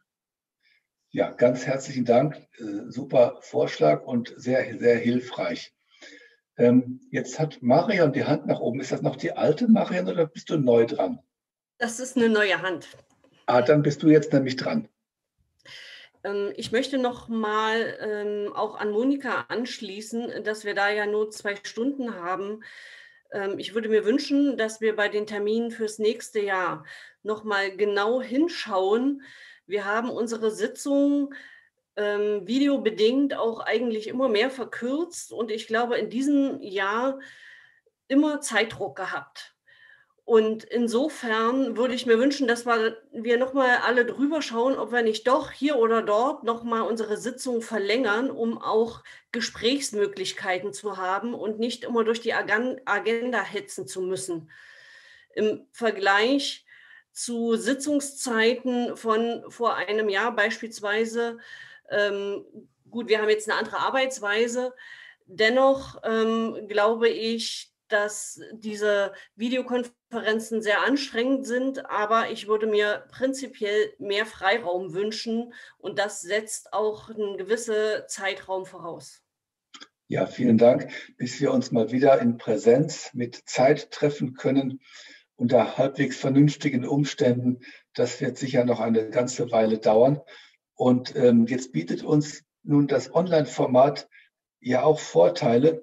Zum Beispiel, wenn wir am, ich glaube, am 12. Januar haben wir unsere Sitzung, die besagte mit der öffentlichen Veranstaltung.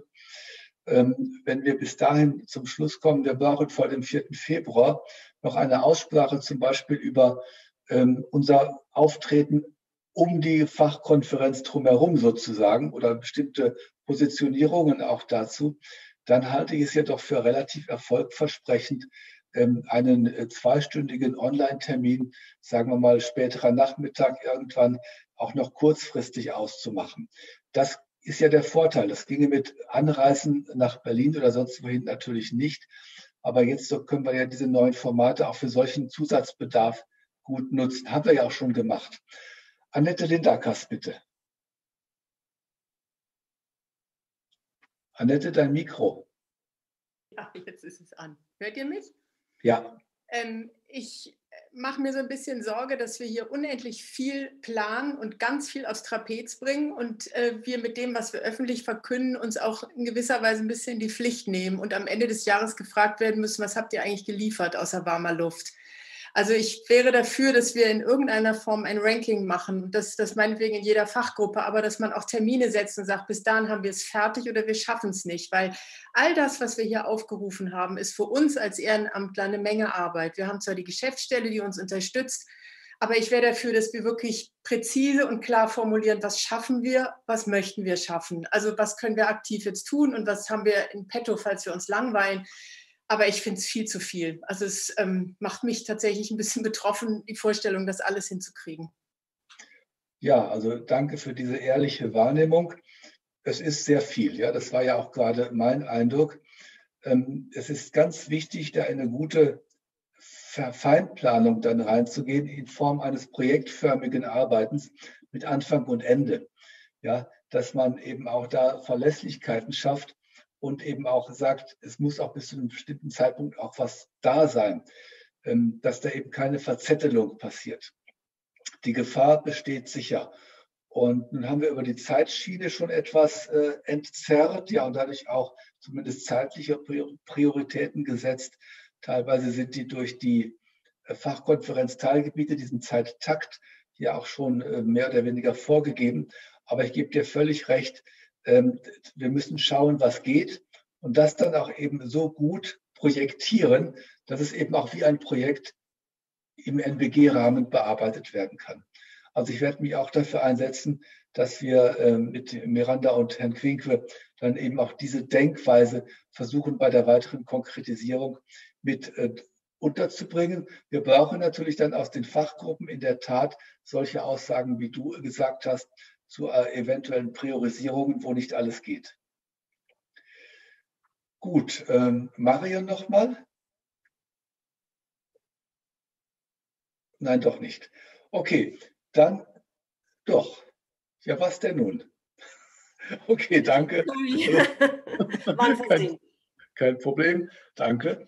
Dann ähm, sind wir jetzt soweit, denke ich, uns ähm, den Gesamtrahmen ja noch einmal anzuschauen und eine Meinung dazu zu äußern. Das ist kein formaler Beschluss, wie eben gesagt, sondern es geht darum, der Geschäftsstelle und uns selbst das Go-Ahead zu geben. So wollen wir in das nächste Jahr reingehen und dass dann dort noch ganz viel Präzisierungsarbeit, Priorisierungsarbeit und so etwas ansteht, das ist völlig klar.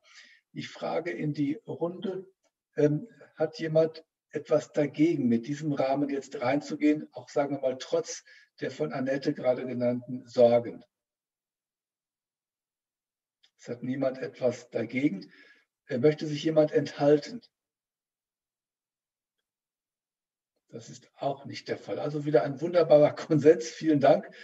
Ähm, vielleicht ist es ja auch deswegen ein Konsens geworden, weil ähm, das Ausmaß der Arbeit auch noch, sagen wir mal so, sich nur ankündigt, aber auch noch nicht da ist. Und da wird sich sicher bei der Feinplanung auch noch mal das ein oder andere äh, ergeben, was man dann vielleicht doch ähm, nicht so machen kann wie jetzt. Aber erst einmal ist der Rahmen so verabschiedet. Damit möchte ich Herrn Quinkwe noch mal fragen, ist es äh, ist, das, ist es das, womit Sie jetzt gut weiterarbeiten können oder brauchen Sie im Moment darüber hinaus etwas von uns? Also ähm, erstmal vielen Dank äh, an die Mitglieder. Das ist jetzt der, die Basis äh, für unsere weitere Planung, für unsere weitere Vorbereitung, die dann ja auch in den Fachgruppen stattfinden wird. Und äh, der Punkt, der von Annette Lindackers gemacht worden ist, äh, nun zu priorisieren, ich glaube, der wird in allen Gruppen äh, dankbar aufgegriffen werden und äh, sicherlich auch berücksichtigt werden. Mhm. Also insofern äh, ist das tatsächlich für uns jetzt eine gute Basis und wir sollten dann äh, zum Beginn des nächsten Jahres dann auch schon konkreter werden. Das heißt, es wäre äh, die Bitte und der Wunsch äh, an die Fachgruppen, die sich jetzt in diesen Tagen noch vor der Weihnachtszeit oder ganz früh im nächsten Jahr, dann im neuen Jahr schon treffen werden, ähm, dann auch im Ergebnis eine Entscheidung darüber zu treffen, womit wir wann beginnen wollen, damit wir auch mhm. gleich ins Doing übergehen können. Ja. Ja, ja. das möchte ich äh, völlig äh, voll unterstützen, auch gerade im Hinblick auf alles, all das, was auf den auf die jetzigen Zwischenbericht sich erstreckt und auf die Fachkonferenz-Teilgebiete, denn da läuft ja die Uhr. Und das heißt, sofern dort externe Unterstützung benötigt wird, das hat ja alles so einen Zeitbedarf mit äh, mit äh, Bekanntmachung und Vergabe und so weiter, das ist relativ eilig. Gut, wunderbar. Dann sind wir mit dem Punkt, äh, ich glaube, es war die Nummer drei. Ja, mit der Nummer drei. Ich habe ja meine Unterlagen so um mich verteilt. Deswegen schaue ich manchmal zur Seite. Äh, sind wir durch und das sogar elf Minuten vor der geplanten Zeit. Wir können damit einsteigen in den nächsten Punkt und das sind Fragen aus der Öffentlichkeit. Moment, Moment, wir haben noch eins zu bearbeiten und das ist der Peer-Review-Prozess. Wir haben einen Beschluss, ähm, das ist äh, der Top 3, ähm, Punkt 2, sag mal. Ähm, oh ja, den habe ich jetzt in meinem Ausdruck nicht dabei. Das war jetzt mein Fehler. Ich hätte nochmal die neue Version ausdrucken sollen. Danke. Ja, ja dann machen wir gleich weiter. Ähm, würde ich kurz ähm, äh, auch die Öffentlichkeit darstellen, dass wir haben in unserer internen Sitzung mit ähm, äh, Herr Zabel und ähm, die äh, Mitarbeiterin Frau Laubscher, ähm, Mitarbeiterin bei Abgeordneten Skudlenli, ähm, ich habe das falsch gesagt, Skudelny, tut mir leid, äh, Herr Zabel aus Die Linke und Frau Skudelny äh, beim FDP ähm, über Peer-Review-Möglichkeiten äh, beim MBG gesprochen. Und ähm, wir haben das äh, verfolgend auf äh, unsere letzte Sitzung, war, wo wir mit Abgeordneten Nina Schier und äh, Sylvia Körtung-Ull geredet haben. Ähm, und das ähm, war ähm, um aus Sicht der ähm, äh, Abgeordneten darüber zu hören, äh, was für Meinungen die haben zu de Durchführung in International Peer Review von die ganze ähm, äh, Standardauswahlprozesses und wie es bisher gelaufen hat und was man daraus lernen kann und ähm, was für die Zukunft dann auch wichtig sein würde. Und dazu haben wir eine Beschlussvorlage. Ähm, ähm, und der Beschlussvorlage ist eigentlich äh, nur dazu sagen, dass ähm, wir würden ein Peer-Review-Verfahren ähm, im Leben äh, rufen. Ähm, wir würden eine Arbeitsgruppe davor einrichten, die die genaue ähm, äh, Vorschlag zu einem Peer-Review äh, bearbeiten würde und ähm, die Geschäftsstelle dann auch ähm, ähm, damit zu, begutachten, äh, zu, zu, zu ähm, bewegen, dass die ähm, diese Peer-Review ähm, Vorschlag auch mitarbeiten und dass wir als Co-Vorsitzende mit dem BMU klären äh, die Finanzierungsfragen. der ähm, ganze Konzept ist ähm, jetzt zweimal diskutiert geworden, einmal in unserer letzten Sitzung und dann heute in unsere interne Sitzung. Vielleicht für die Öffentlichkeit zu wissen, dass wir haben das intern besprochen, ne, aus ähm, äh, Terminsicht, weil es ging nicht bei den Abgeordneten ähm, eigentlich äh, während die öffentliche Sitzung ähm, äh, mitzumachen. Die hätten das anders gerne gemacht. Und ich habe auch gesehen, dass Herr Zebel hat wohl ähm, teilweise bei unserer äh, öffentlichen Sitzung ähm, zugehört, dass er war wohl dabei. Ähm, aber es war nicht ähm, ein Versuch äh, unserer Seite, etwas geheim zu halten.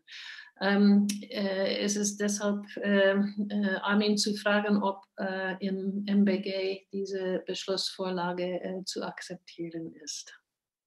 Ja, herzlichen Dank. Da war ich dann doch mal zu schnell. Das kommt durchaus schon manchmal vor. Es ist nicht das erste Mal, dass mir so dieses, das passiert. Äh, aber dann ist gut, dass du mich da bremst. Ähm, Nachfragen zunächst dazu. Herr Leinen. Ja, ähm, ich habe Miranda richtig verstanden, dass wir beschließen, ein Konzept zu erarbeiten, äh, wie die Peer Review nachher passieren soll. Wir haben halt die ja. Eckpunkte dann noch nicht parat heute, sondern wir geben jetzt den Auftrag, äh, dieses Konzept mit Eckpunkten zu mhm. äh, bearbeiten. Ne? Ich habe ja auch aufmerksam den beiden Kollegen zugehört. Das war ja sehr flockig und sehr sozusagen bereitwillig. Aber wir werden noch, noch überlegen, wie das Team dann nachher auszusehen hat. Ja, ich bin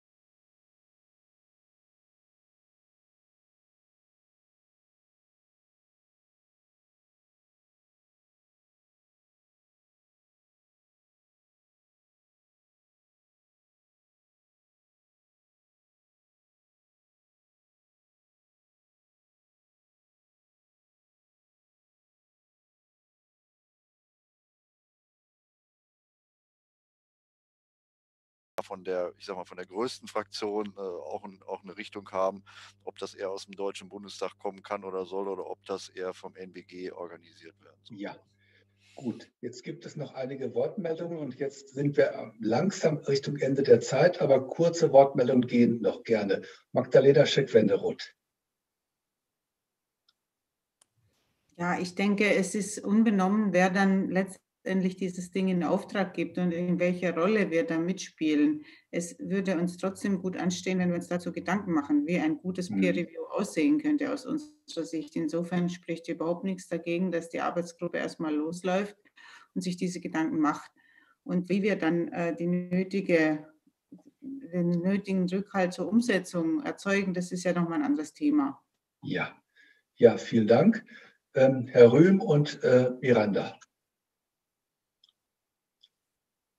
Das ist vorhin schon mal angesprochen worden, aber wenn wir als NBG ein derartiges Review in Auftrag geben und wir uns gleichzeitig aber einig sind, dass wir auch begutachtet werden sollen, dann sehe ich da einen gewissen, möglicherweise einen gewissen Widerspruch. Da müssen wir dann äh, aufpassen. Das ist vielleicht eins, was die, die Arbeitsgruppe ganz am Anfang auch sich überlegen sollte, wenn wir, wenn wir das machen müssen, sollen wir uns dann auch begutachten lassen. Da geht es, funktioniert das unabhängig. Ja, vielen Dank. Wir sind jetzt im Moment ein bisschen in der Gefahr, schon auch ähm, sehr ins Detail zu gehen. Ähm, ich habe jetzt noch auf der Liste ähm, Miranda, Lukas und Herrn Beckstein und dann würde ich auch gerne schließen. Miranda. Ja, ähm, eins, was in der Beschlussvorlage nicht ähm, ähm, zu finden ist, ist, wer diese Arbeitsgruppe sein soll. Und ähm, ich würde hier einen Vorschlag schon machen, und das ist, dass äh, Klaus Brunsmeier und Magdalene Scheck-Wenderoth ähm, mitmachen, weil wir haben das im Anfang eigentlich ähm, auf den Tisch gebracht. Ähm, und ähm, würde dann auch bitten, dass jemand aus dem äh, Öffentlichkeitsgroup und eigentlich auch aus dem ähm, Sicherheitsgroup dabei sind, dass wir gut über ähm, Gutachter äh, nachdenken könnte. Und äh, mhm. ich würde auch äh, gerne mitmachen. Ja, vielen Dank. Ich denke, es ist wichtig, dass die FGs, die äh, Fachgruppen, dann auch mit ihren Perspektiven dabei sind. Ähm, Lukas,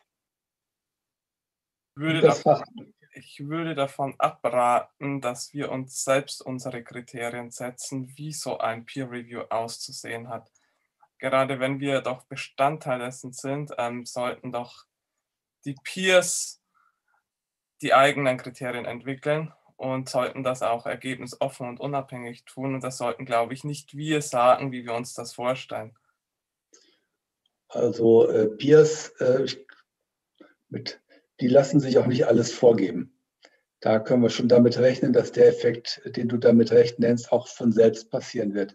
Herr Beckstein noch. Ich wollte nur darauf hinweisen, dass ich überhaupt keine Probleme darin sehe, wenn wir es vorbereiten, ohne dass klar ist, ob der Auftrag durch Bundestag oder uns gegeben wird. Ob der Bundestag einen Auftrag gibt, das hat mit vielen politischen Fragen Zeitpunkt zu tun, wie weit sich der Bundestag dadurch auch präjudiziert fühlt, irgendwelche Änderungen vorzunehmen. Aber es ist besser, wenn es vom Bundestag ausgeht, aber wenn der nicht mag, dann sollten wir es unter allen Umständen auch selber machen. Ja, ja, vielen Dank. Da sehe ich auch sehr viel Zustimmung auf den Bildschirmen. Prima. Dann geht es jetzt darum, das Go Ahead, um das Wort nochmal zu verwenden, ähm, für diese Gründung einer Arbeitsgruppe für den Zweck ja, der Vorbereitung eines Peer Review äh, zu geben, äh, was dann die Arbeitsgruppe sollte ein Konzept entwickeln und dann uns als ganzes NBG auf den Tisch legen, sodass wir dann natürlich als ganzes NBG darüber beraten und entscheiden können.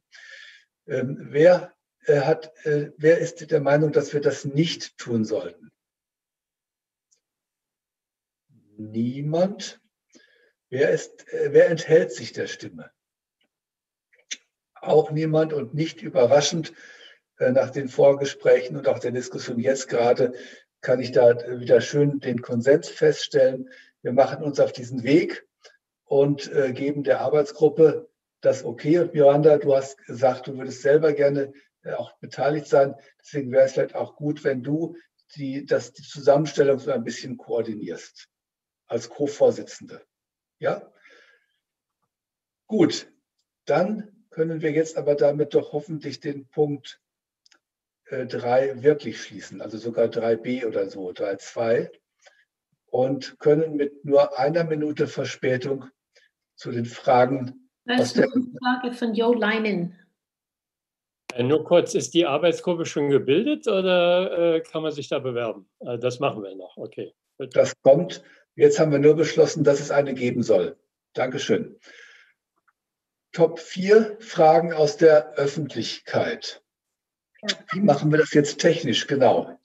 Hallo, äh, auch Hallo. hier. Äh, wir haben heute sehr, sehr viele Fragen bekommen, sowohl aus dem Chat als auch per Mail.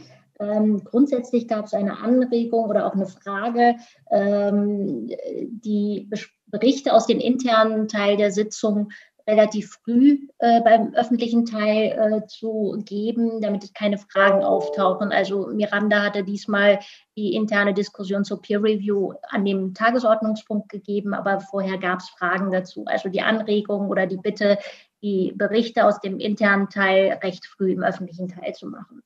Äh, ich fange an mit äh, einer Frage von Jochen Stey von ausgestrahlt.de. Äh, es geht um die AG Vorbereitung, die Vorbereitungsgruppe zur Fachkonferenz. Ähm, die Zusammensetzung, Wahl der Vorbereitungsgruppe ist von Anfang an umstritten. Die Gruppe hat sich trotzdem gegen eine Öffnung entschieden. Inzwischen haben sechs Personen die Vorbereitungsgruppe verlassen. Deshalb wäre es meiner Ansicht nach eine problematische Einengung, nur der Vorbereitungsgruppe die Möglichkeit zu geben, sich in dieser Sache an das NBG zu wenden. Danke. Das ist ja keine Frage, das ist eine Stellungnahme und die nehmen wir als solche gerne auf. Mhm. Äh, dann gibt es eine äh, Frage, die kam diesmal von Frau Hüben, Sarina Hüben, äh, per Mail. Ich zitiere, in der Region, in der ich lebe, sind wenig bis keine geologischen Daten vorliegend unter Franken. Wie ist der weitere Umgang mit Gebieten, die aufgrund nicht hinreichender geologischer Daten nicht eingeordnet werden können, beziehungsweise, beziehungsweise wie werden diese Gebiete weiter geologisch untersucht? Ja, vielen Dank. Ich denke, da kann jemand aus der FG Geologie vielleicht etwas dazu sagen. Wir hatten das Thema ja auch durchaus für das nächste Jahr uns äh, vorgenommen. Möchte dort jemand antworten? Klaus, Klaus Brunsmeier, bitte. Ich möchte erstmal eben nochmal zurückkommen äh, auf den Hinweis von Jochen Stey, weil ich denke, da bist du jetzt ein bisschen schnell drüber weggegangen, Armin. Äh, also wir hatten das ja eben äh, schon mal auf der Agenda, dass wir gesagt haben, wir haben jetzt diese beiden formalen Einrichtungen, Vorbereitungsgruppe und äh, die Fachkonferenz an sich und äh, haben sozusagen dafür jetzt versucht, äh, Wege und Vorgehensweisen äh, zu organisieren. Aber ich habe eben schon gesagt, dass kann und darf nicht bedeuten, dass nicht auch andere, äh, die, die genau diese Fragestellungen haben oder die sich sozusagen für bestimmte Daten interessieren, äh, die nicht öffentlich zugänglich sind, dass denen das natürlich selbstverständlich auch ermöglicht sein muss, das zunächst über die BGE oder wenn dort das nicht weitergeht, auch über das NBG zu machen. Das ist mir nochmal sehr wichtig, dass wir das an, mit Blick auf diese Frage äh, nochmal ein bisschen hervorheben. Also das ging mir eben ein bisschen schnell, Armin, um das mal vorsichtig zu sagen. Das ist gar kein Widerspruch. Danke. Und zu, den Geologie, äh, zu der Geologie-Datenfrage? Ich würde da sagen, ähm, erster Anfragspartner für diese Frage ist eigentlich das BGA, aber mhm. ähm, was vorgesehen ist, ist Bereichen, wo ähm, nicht ausreichende Daten ähm, sind, äh, wenn diese Region wirklich in ähm, äh, Betrachtung kommen würde, dann ähm, äh, Proben zu nehmen, um mehr Daten zu erheben. Mhm. Ähm, das ist ähm, aber so eine grobe Darstellung äh, zu den nächsten Schritten. Mhm. Ja, danke. Äh, Magdalena Scheck-Wenderoth. Vielleicht möchte Herr Löwer ja dazu konkret was sagen, wie der nächste Schritt wäre bei Gebieten, keine vorliegen, die aber immer noch Teilgebiete sind. Ja, Herr Löwer, gerne.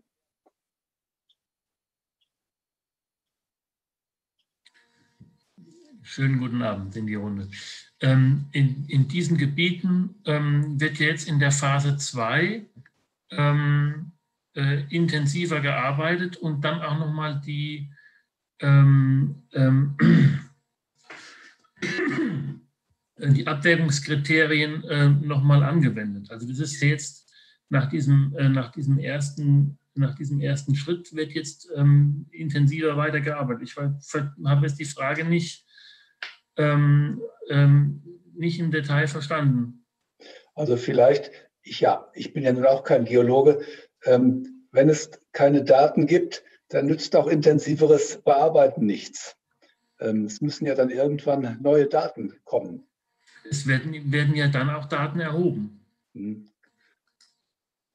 Zur Eingrenzung. Ja. Gut, Magdalena, deine Hand ist nach oben. Ist die. Äh ja, dann ist jetzt nochmal Klaus, aber dann gehen wir zu den nächsten Fragen weiter. Also vielleicht auch noch mal zur Klarstellung. Äh, in der Phase 1 werden keine neuen Daten erhoben.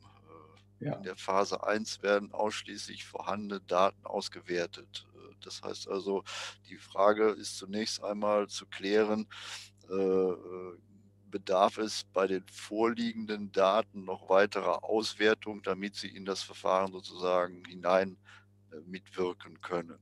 Und genau das ist im Moment die Situation, dass ja auch für uns jetzt leicht überraschend, sage ich mal, sehr viel mit Referenzdaten gearbeitet wurde, weil viele vorhandene Daten noch nicht ausgewertet worden sind oder noch nicht ausgewertet waren.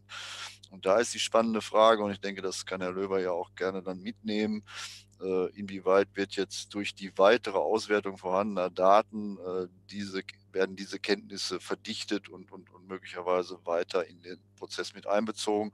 Oder wo bleibt dann am Ende des Tages tatsächlich ein Defizit über, wo man das nicht kann? Und das wären ja dann auch die zu benennenden Regionen, wo nicht ausreichend Datengrundlage vorliegt und wo es dann ja auch die gesetzliche Bestimmung gibt, wie damit umzugehen ist. Also so würde ich das jetzt mal mit meinen Worten nennen. Aber äh, wir sollten nicht den Eindruck erwecken, dass jetzt in der Phase 1 noch Daten erhoben werden. Das ist grundsätzlich nicht vorgesehen, so wie ich das Verfahren kenne. Ja, das ist auch noch mein Stand aus der Endlagerkommission. Ähm, ja, jetzt gibt es weitere Fragen. Ähm, es gibt noch sehr viele Fragen, aber eine, äh, einen Hinweis von Herrn Stey würde ich gerne noch hinzufügen wollen zu seiner Anregung eben. Äh, vielleicht können Sie das nochmal, Herr Grunewald, ähm, klarer formulieren. Er sagt, der NBG-Beschluss von vorhin war aber, dass sich nur die Vorbereitungsgruppe an das NBG wenden kann, wenn es um die Sachverständigengruppe und die Dateneinsicht bei der BGE geht. Ist das so? Also den Wortlaut habe ich jetzt gerade nicht mehr auswendig parat. Wer hat den Wortlaut? Äh, Herr Hans Hagedorn. Äh, ja, ich habe es gerade aufgerufen. Also es geht darum, dass die Fachkonferenz Teilgebiete beziehungsweise die AG Vorbereitung Vorschläge äh, machen kann. So steht es auch in der Beschlussvorlage. Und so habe ich auch wahrgenommen, dass beschlossen mhm. wurde. Also die Vorbereitungsgruppe ist natürlich stark drin, kann das natürlich machen, aber es ist explizit ausgeweitet auf die gesamte Fachkonferenz. Danke, das ist, glaube ich, sehr eindeutig. Marion Durst? Dein Mikro. Ja, ich habe es gerade gemerkt. Und zum gleichen Punkt, da steht, äh, dass die Fachkonferenz oder äh, dass eben die Vorbereitungsgruppe äh, dazu berechtigt ist, aber da steht nicht, dass nur oder ausschließlich diese Vorbereitungsgruppe dazu berechtigt ist. Deswegen sind andere deswegen ja nicht ausgeschlossen. Mhm. Danke. Gut, ich glaube, den Punkt haben wir damit wirklich auch klar beantwortet. Genau, jetzt gibt es äh, mehrere Fragen einer Bürgerin äh, namens Ingrid Losstöter. Ähm, die Fragen kamen per Mail.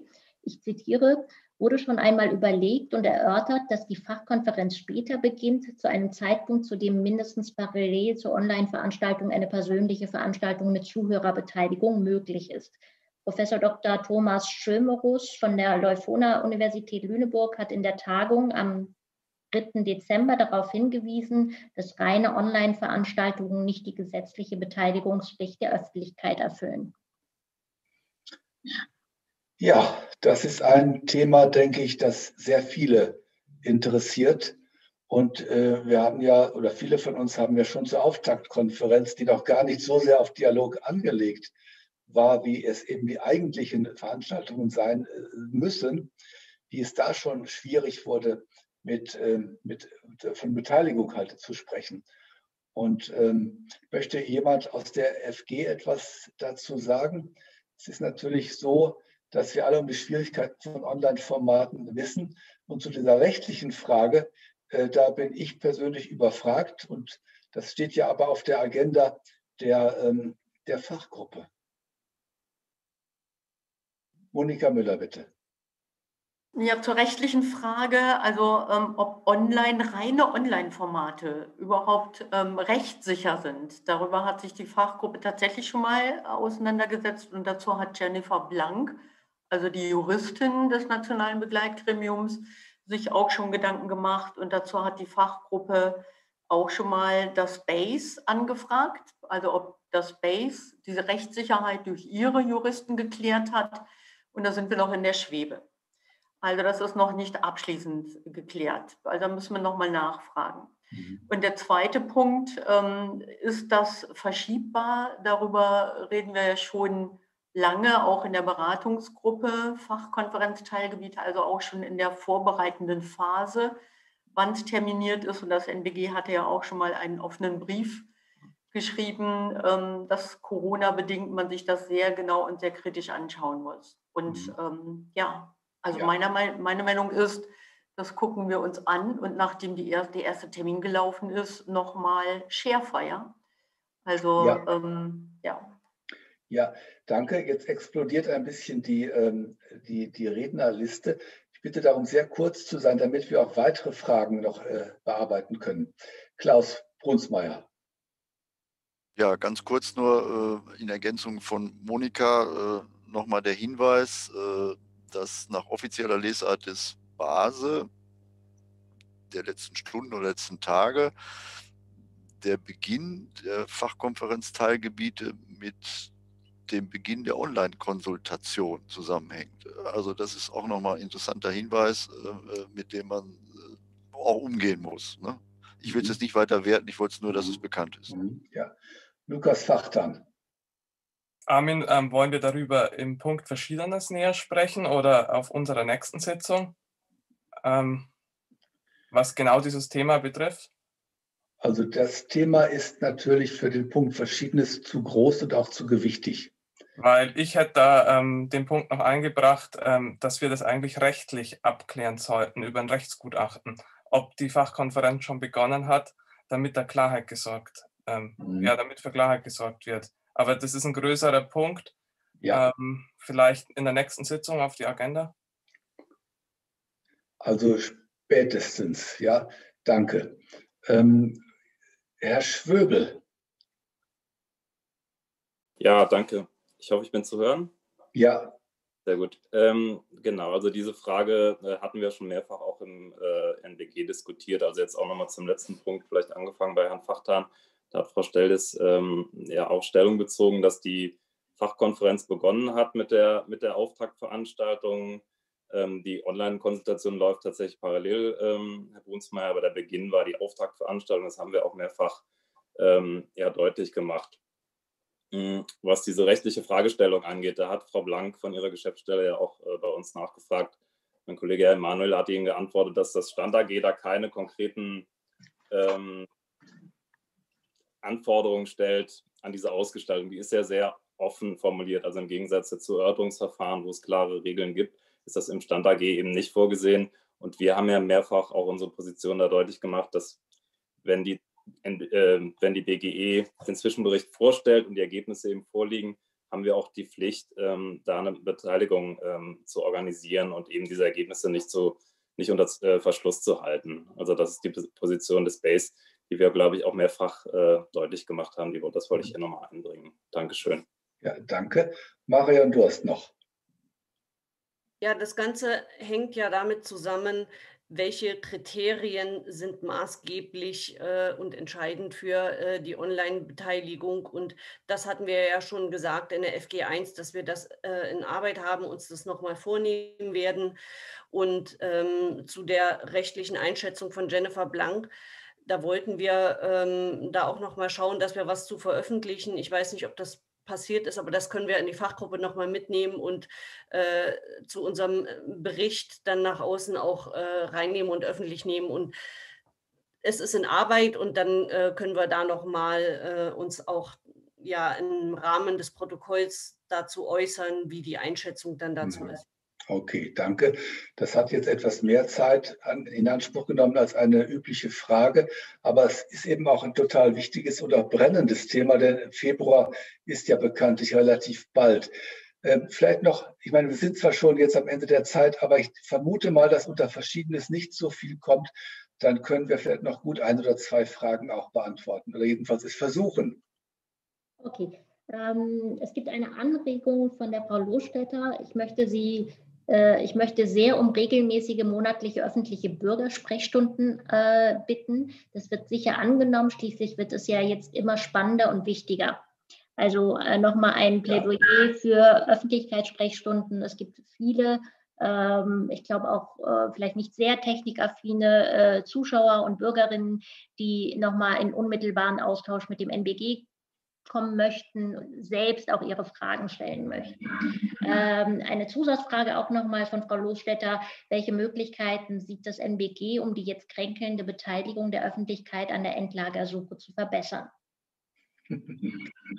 Das ist die 100-Dollar-Frage. Ja, ähm, ist ja leider eine alte Weisheit oder Erfahrung, dass die Beteiligung dann richtig gut wird, sobald es ja ans Eingemachte geht, sobald Menschen persönlich betroffen sind, weil sich in ihrer Lebensumwelt etwas tun könnte. Und die Tatsache, dass wir jetzt noch 54 Prozent der Oberfläche Deutschlands im Spiel haben, ja, ist das Gegenteil, ja. Äh, von daher, die Situation haben wir und deswegen ist die Beteiligung noch nicht so, wie sie eigentlich sein sollte. Wir tun unser, das, was wir tun, machen wir, glaube ich, äh, durch möglichst öffentliche ähm, Sitzungen, durch äh, möglichst viel eben auch Aufgreifen von ähm, Meinungen und Sorgen auch aus der Bevölkerung. Aber ich glaube, mehr können wir im Moment auch nicht tun. Oder hat da jemand noch eine zündende Idee? Ja, Sie merken es. Doch, Miranda. Ja, dazu wollte ich wohl sagen, ähm, ist auch ähm, äh, bekannt zu geben, dass wir, äh, Armin, ich und äh, Hans Hagedorn haben auch ähm, vor ein paar Tagen ein Gespräch gehabt mit ähm, Space, ähm, mit Herr König und ähm, Frau Steljes äh, und Herr Schröbel. Ähm, wir waren zusammen äh, auch äh, um äh, unsere Verständnisse zu den Rollen von ähm, des MBG und des Space im Austausch zu sein und auch mit solchen Fragen im Austausch zu sein. Ähm, ich glaube, es ist auch wichtig für ähm, die Öffentlichkeit zu wissen, dass wir selbst als MBG äh, versuchen, ähm, Sachen zu organisieren. Wir würden zum Beispiel im Januar eine Konferenz organisieren, wo wir auch ähm, äh, einladen äh, von, von ähm, die Länderebene, Behörde aus den Ländern, ähm, auch ihre ähm, äh, Sichtweisen und äh, Perspektiven zum Beispiel zu der Fachkonferenz zu organisieren. Und wir würden auch im Verfolgung die äh, Fachkonferenzen selbst oft einmal Sitzungen haben und ähm, würden natürlich auch ähm, versuchen, ähm, äh, so weit wie möglich diese offen zu gestalten, sodass auch von außen äh, Perspektiven zugehört werden kann und ähm, auch über das MBG ähm, äh, Richtung äh, andere Aktoren zu kommunizieren. Aber es ist natürlich immer eine große und wichtige Frage, wie schaffen wir eine gute ähm, Beteiligung? Und das ist natürlich eine besonders schwierige Frage heutzutage mit mhm. diese beschränkten Möglichkeiten mit Dialogen über Internet. Ja, danke Miranda. Monika Müller und dann müssen wir den Punkt leider schließen. Ja, also ich ähm, baue auch ein bisschen auf dezentrale Informationen. Also einige Länder machen sich ja auf, ähm, die Beteiligung auch in ihrem oder das Verfahren in den jeweiligen Bundesländern zu begleiten. Also ich, ich glaube, dass es auch mehr dezentrale Sachen braucht. Miranda hat schon mal dieses Town Hall Meeting vorgeschlagen. Also eine dezentralere Information, die dann aber immer in den Fachkonferenzen oder zu diesen Terminen zusammenlaufen muss. An diesen drei Terminen alleine wird das, glaube ich, nicht zu reißen sein. Mhm, ja. Und ähm, was man auch schon mal oder was ich auch schon mal überlegt habe, ist, dass man eigentlich andere Kanäle bedienen muss. Also ähm, ähm, es gibt junge Menschen, die zum Beispiel Wissen auf eine andere Art und Weise vermitteln, wie zum Beispiel Mr. Wissen to Go den ich schon mal auf meiner Liste äh, stehen hatte. Also, dass man mit den Leuten ins Gespräch kommt. Und ansonsten wird sich das mit der Zeit, glaube ich, aufbauen. Okay, Sie merken, es gibt doch einiges, ja, trotz aller Erfahrung, dass es eben sehr schwer ist. Wir sind dran und es wird sicher im nächsten Jahr eine ganze Reihe von auch Aktionen geben, wo die Beteiligung sich verbessern wird, einfach dadurch, dass das Thema auch weiter nach vorne kommt. Äh, Marion, bitte noch höchstens ganz kurz. Ich wollte an der Stelle nur ganz kurz berichten. Das Stichwort andere äh, Kanäle hat es mir gegeben, dass ähm, die Jurina Suko, der Lukas Fachtan und ich am Montag äh, mit dem Herrn Schwöbel und den Herrn Ottmann und ich habe den Namen der Mitarbeiterin vergessen, die noch dabei war. Sie möge mich entschuldigen. Ähm, wir haben ähm, im Zusammenhang mit Beteiligung von junger Generation dort einen Austausch gepflegt und da auch über die Punkte beraten, wie das äh, am besten gehen kann, weil da hatten wir unsere Beratung und Mitarbeit angeboten und insofern fand da am Montag ein Austausch statt. Da wollte ich nur kurz drüber berichten. Vielen Dank und äh, ja, nochmal, Sie merken, wir sind dran und ich sage mal umgekehrt an unsere Gäste, machen Sie mit, ja, in Ihrem Bekannten- und Freundeskreis, in den Vereinen oder wo Sie immer Menschen treffen, online oder hoffentlich bald wieder real, machen Sie mit, dem Thema die Bedeutung zu geben, die es braucht. Ähm, wir, werden, wir werden um 21 Uhr werden wir technisch abgestellt. Deswegen muss ich jetzt leider den Fragen-Tagesordnungspunkt abschließen und den letzten Punkt noch Verschiedenes aufrufen. Und da frage ich hier in die Runde, ob es da noch etwas gibt. Marion? Oder ist es noch die alte Hand? Ah ja, okay. Niemand. Naja, dann geht vielleicht doch noch eine Frage.